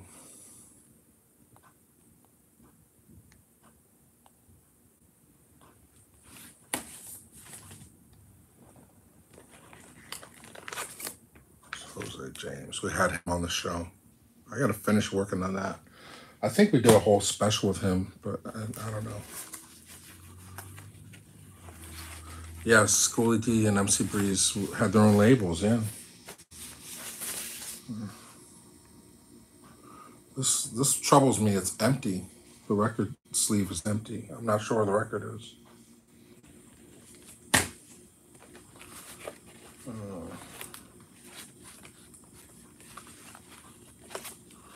this is something from Charles.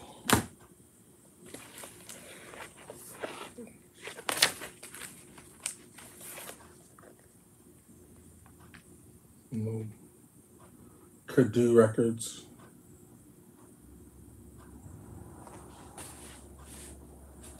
What did I miss? You're going to bed, Elizabeth. We're gonna wrap it up. I don't feel like you missed anything. Blasting Free House, Joe Jackson. I like Joe Jackson.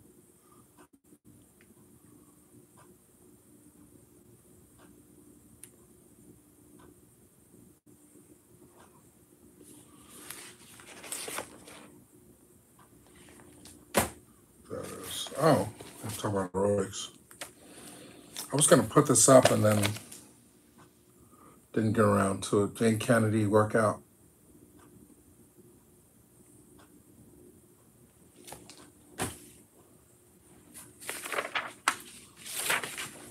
Okay, yeah, here it is.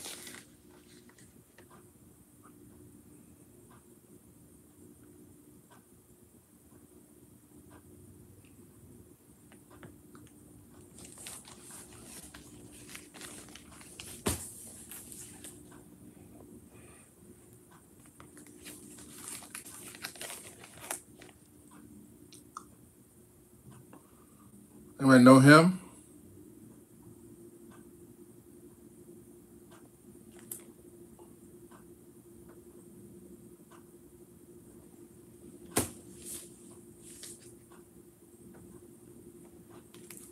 Speak on one hit wonders. So, so laser disc. You know, I just don't know. I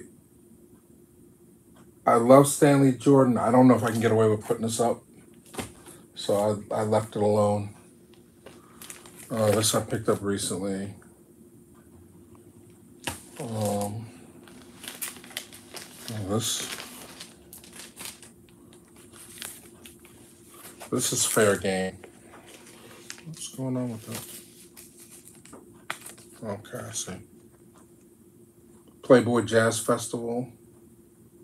I think it's hosted by Bill Cosby. That's something. Oh, here's another one of those um, Lou Rawls albums. And this is uh, Al Green. Who knew? Al Green. So that that might make it to the channel. I'll have to when I put these back. I'll I'll make a pile of stuff to transfer. Stanley Jordan. Yeah. No, he was. He's great. He's still great. He's got some good stuff. This is on the channel. I love Al Green. He's another artist that I don't think has ever made a bad record. Um, let me see. This is signed. I gotta find a sleeve for it. Um, Lamont McLemore signed this for me. So, and he's got a new book out. What's inside?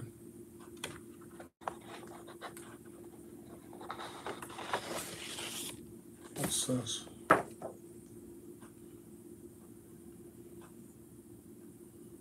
Oh, Lamont McLemore portfolio. He gave this to me, I guess. I don't, I don't remember him giving it to me. He's he's great. Um, he he he's been sick lately. He had a stroke, but um, he just put a book out. Wow. Okay. All right. Chris Dragnet. I can't you the. Oh, that's art artsy. He's got a nude thing, but look at that. How lucky.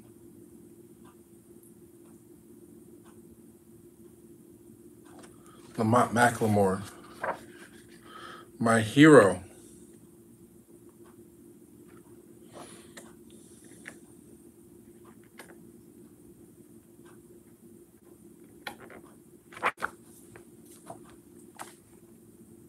You're out MG. Okay, we're gonna wrap it up. Marilyn McCoo and Billy Davis Jr. did have a summer replacements show.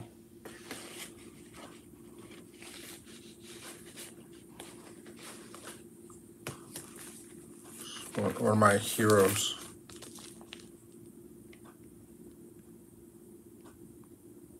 Lenny Bruce. Grace Jones. I have a Grace Jones album somewhere, but not here. All right, so Jacobs. I gotta retransfer this.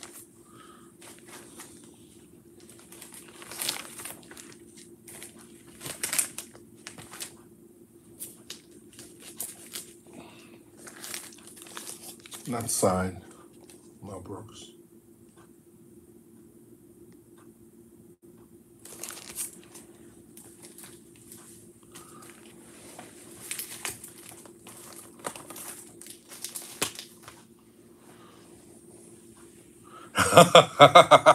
Chris, stop. This is really rare.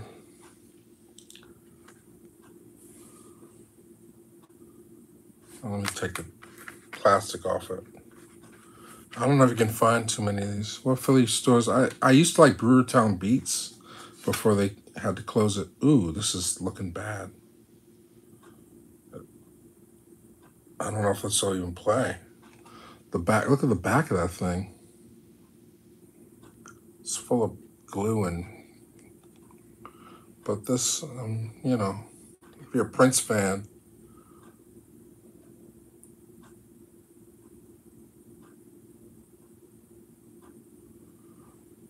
so does anybody know what this is?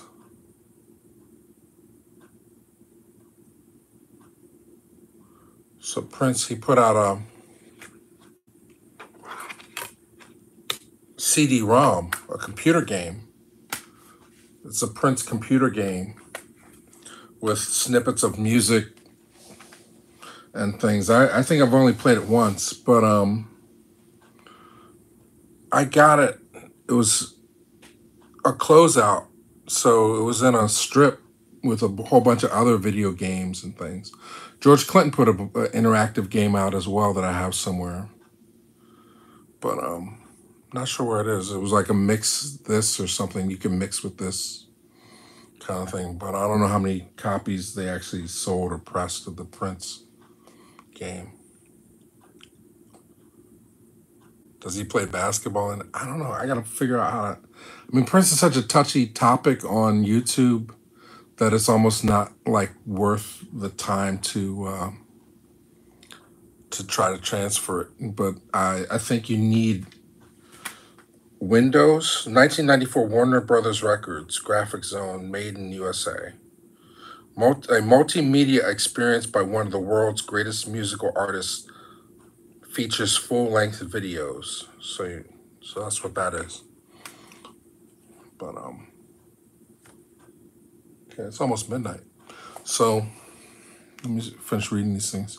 Steve Carroll probably need an old computer. Yep. Yeah, Prince and George Clinton's autograph. Wow, that's really great. Because Prince didn't sign too many autographs, apparently. He didn't like to sign his name. Um, Kate Bush, yeah. Um, DVD, no.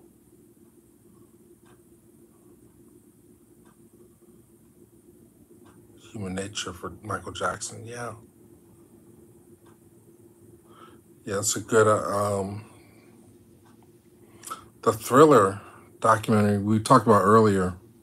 It's um pretty cool. Wayman Tisdale. Wow, rest in peace. Do I have any Wayman Tisdale? Um, I have a, a MP3 of his album. I know I don't own Wayman Tisdale. He was a what did he play? Basketball or football? But he was a bass player, incredibly talented bass player. Wayman Tisdale, but he died young. Um, don't forget to hit the like. Yeah, we got 171 likes, 57 people watching.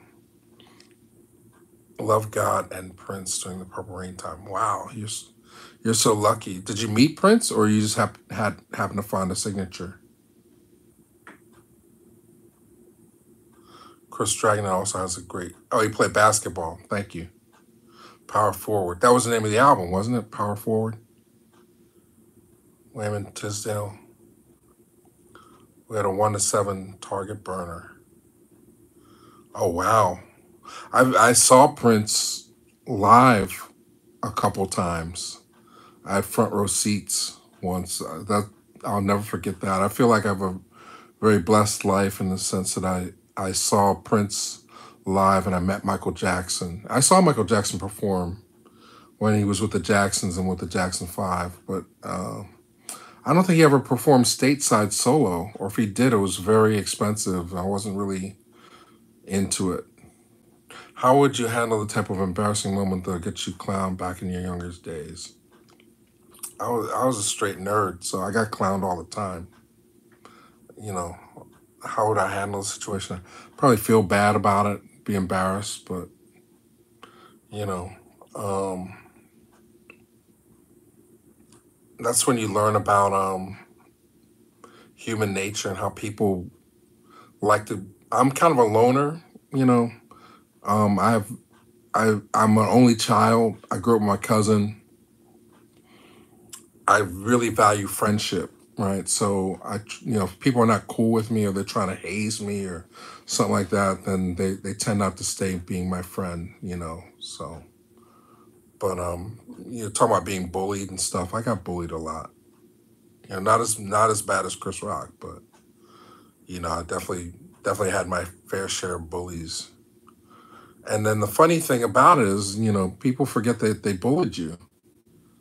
That you know, they, and then somebody told me I was a bully to them, so I had to apologize. I don't even remember it. You know, hack the planet. Yeah, I'm a little bit above before Revenge of the Nerds. You know, he was a tour bus and a group of us were walking by, and he came out and talked to us and signed autographs. So you must have been really young. It was the TSU college campus for concert for special needs, and my uncle worked there. So this is Purple Rain time. So he was.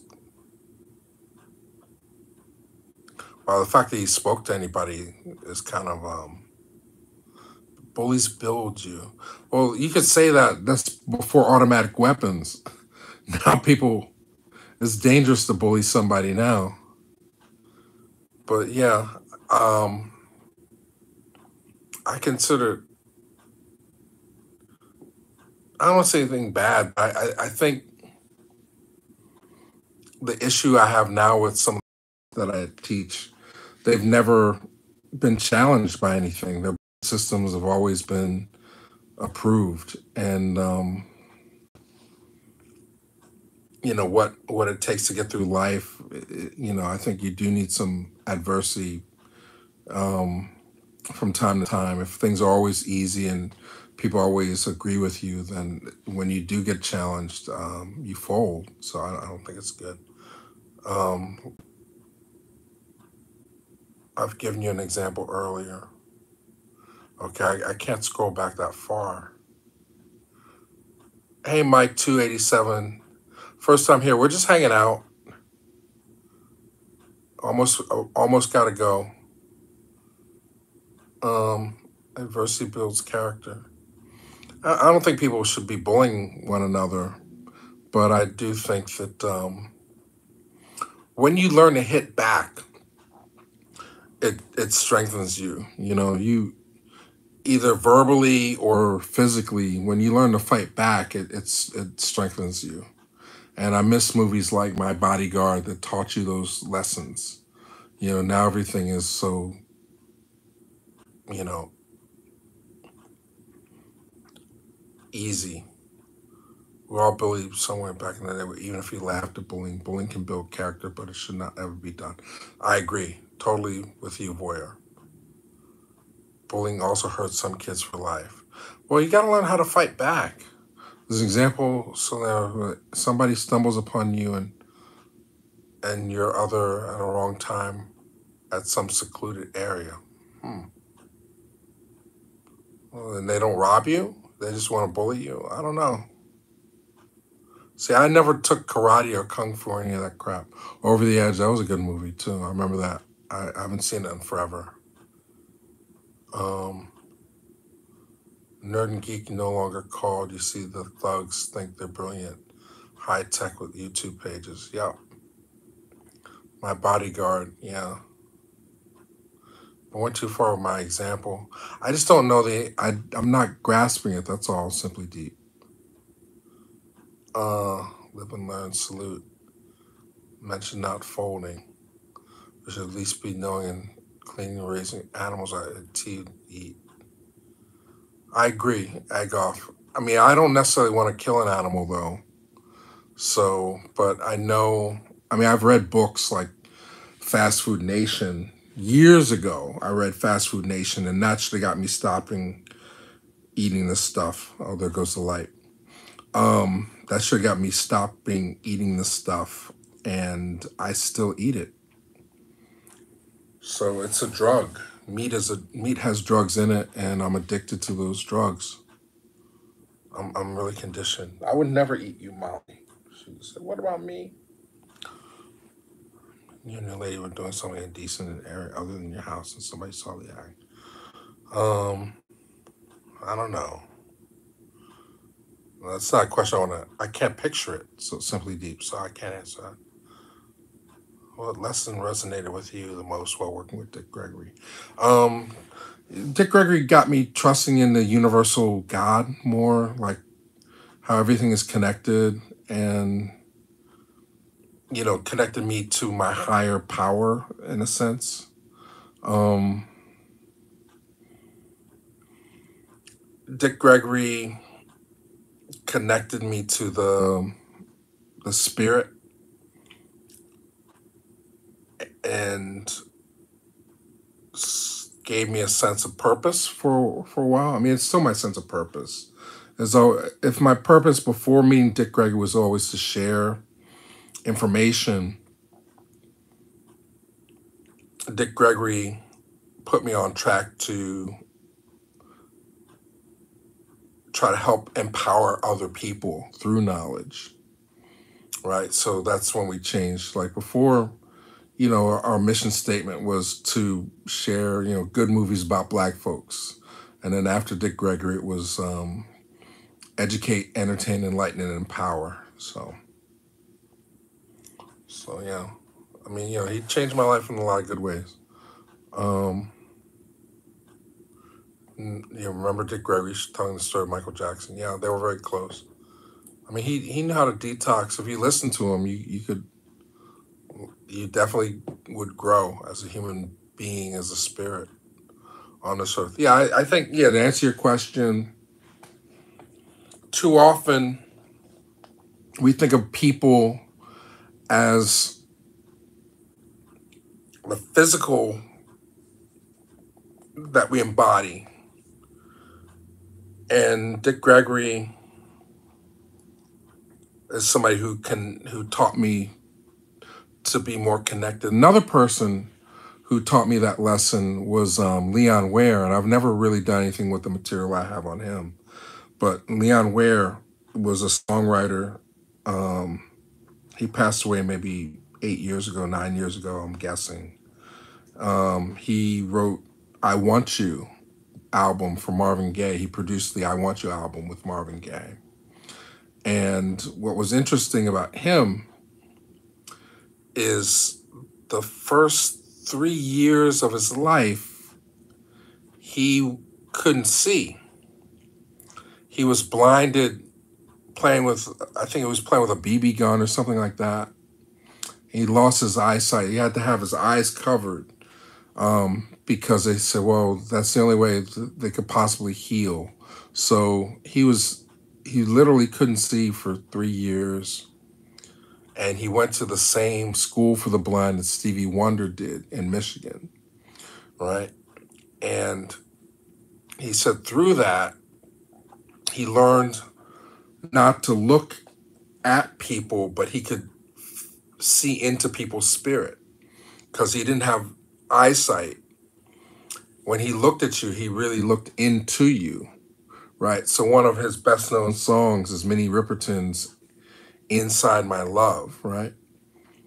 And everybody thinks that that's about, um, you know, sex, you know, but, um, you know, will you come inside me, all that other stuff.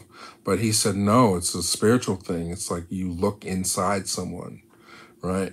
And he had the ability to look, really look into people's hearts. And there's a whole belief system around that where, you know, as we as human beings evolved, we have more than one center for intelligence, right?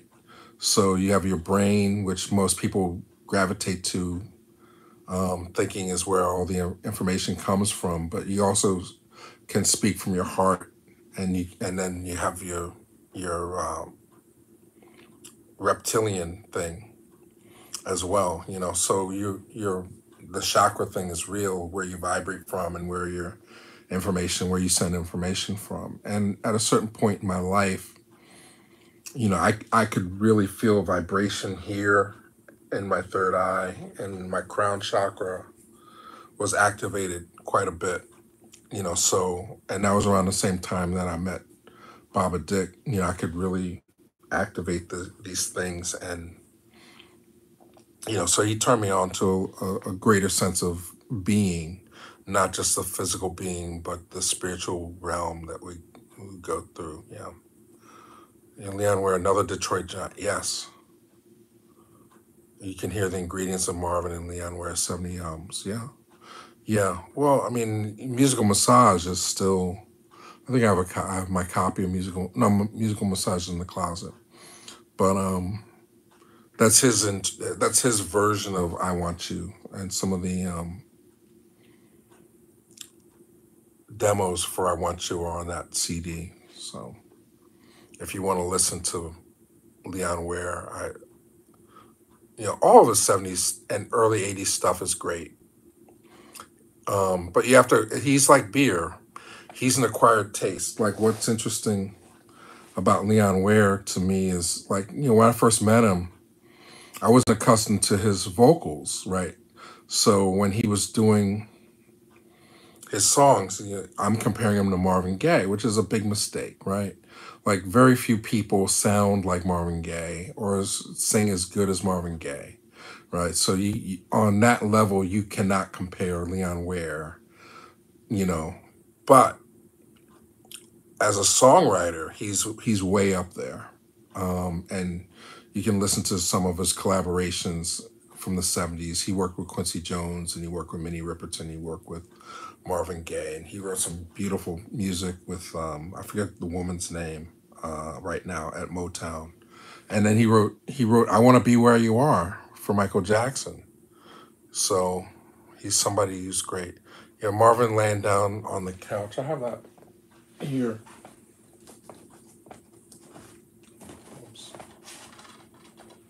This is the the director's cut of that movie. Richard Olivier, remember Marvin Gaye? So this is the full length version of it. Maybe I'll put that on. That might be fun. So you can find you can find it on YouTube now, but um, I had it maybe ten years before it came out. So on YouTube, but the the famous footage of Marvin Gaye uh, singing "I Want You" on the couch in rehearsal comes from uh, from this documentary. Bundy. Okay, so I think it's about that time. Molly, you good? She's cute. I'll show you. She's knocked out. Molly. Hey, Molly girl. She opened her eye.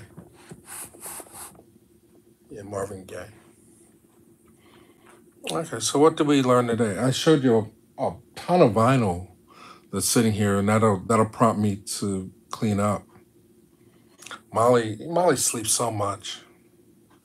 I mean, I, and some some days I wish I was Molly because she's she has no cares. Oh, thank you, Voyeur. I'm glad you enjoyed it. I'm you hung out the whole time, so I appreciate you. Ballard, thanks, thanks. Um, I'm blanking. I can't get to the phone. Thanks, thanks for everybody who donated. Wait, let me not be super rude. Yes, I'm trying to get the phone. I'm waking the cat up. Cat's like, wait a second. You gotta see this. She's like, what are you doing? You woke me up, you jerk. I'm trying to find the phone. Oh, it's gonna fall on me if I'm not careful. Oh, here it is. As you have great and unique taste in music, stay strong. Have a good night, everybody. See you next time.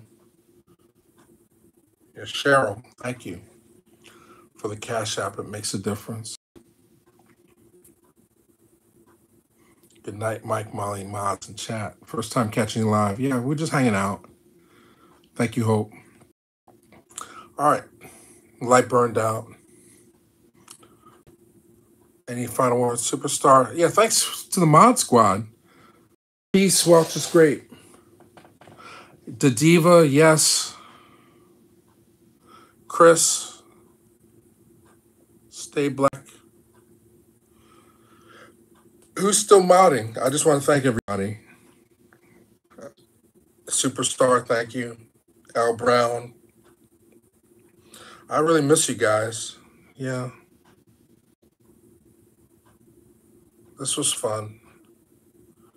Pet TikToks get billions in views. I did one pet TikTok. I don't want to pimp out Molly too much. She's good. She's good though. All right. Oh, and the light pops. All right, superstar. All right, and hoodies are still on sale. It's get. It's still cold. It's still March. Stay white. and t-shirts and everything. I I gotta figure out how to get some more stuff into the store. Ain't no stopping us now. Exactly. Yeah, they they're blocking that song now too, so I don't even want to play it. Ain't no stopping us now. We know, we know you.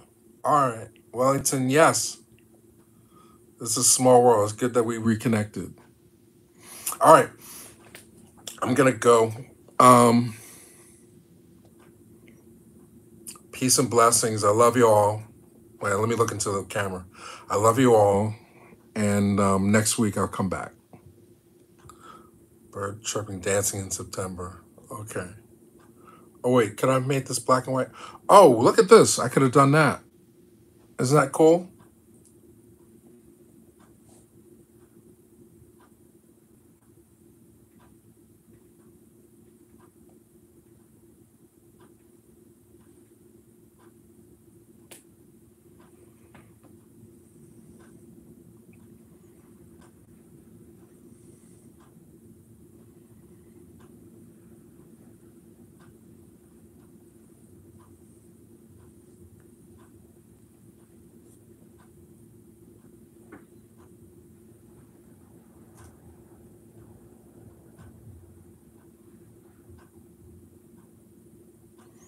Uh, not probably not Friday. Um, maybe Thursday night or um Saturday, like tonight.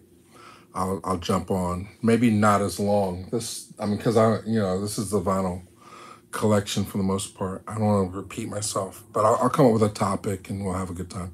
School's over the middle of May, and then I've got to scramble. I don't know what I'm gonna do uh, to earn. So you know, it's it's been fun teaching, but you know then you know the minute you're done, you they cut the checks off. So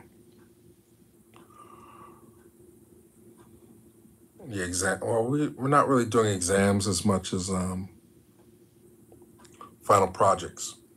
So all right, Chris, it's, it's um you didn't like that one? Haunt. It's called Haunt.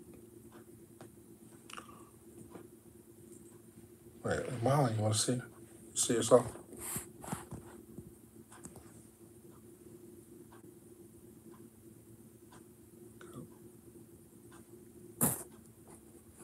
You like the black and white noir?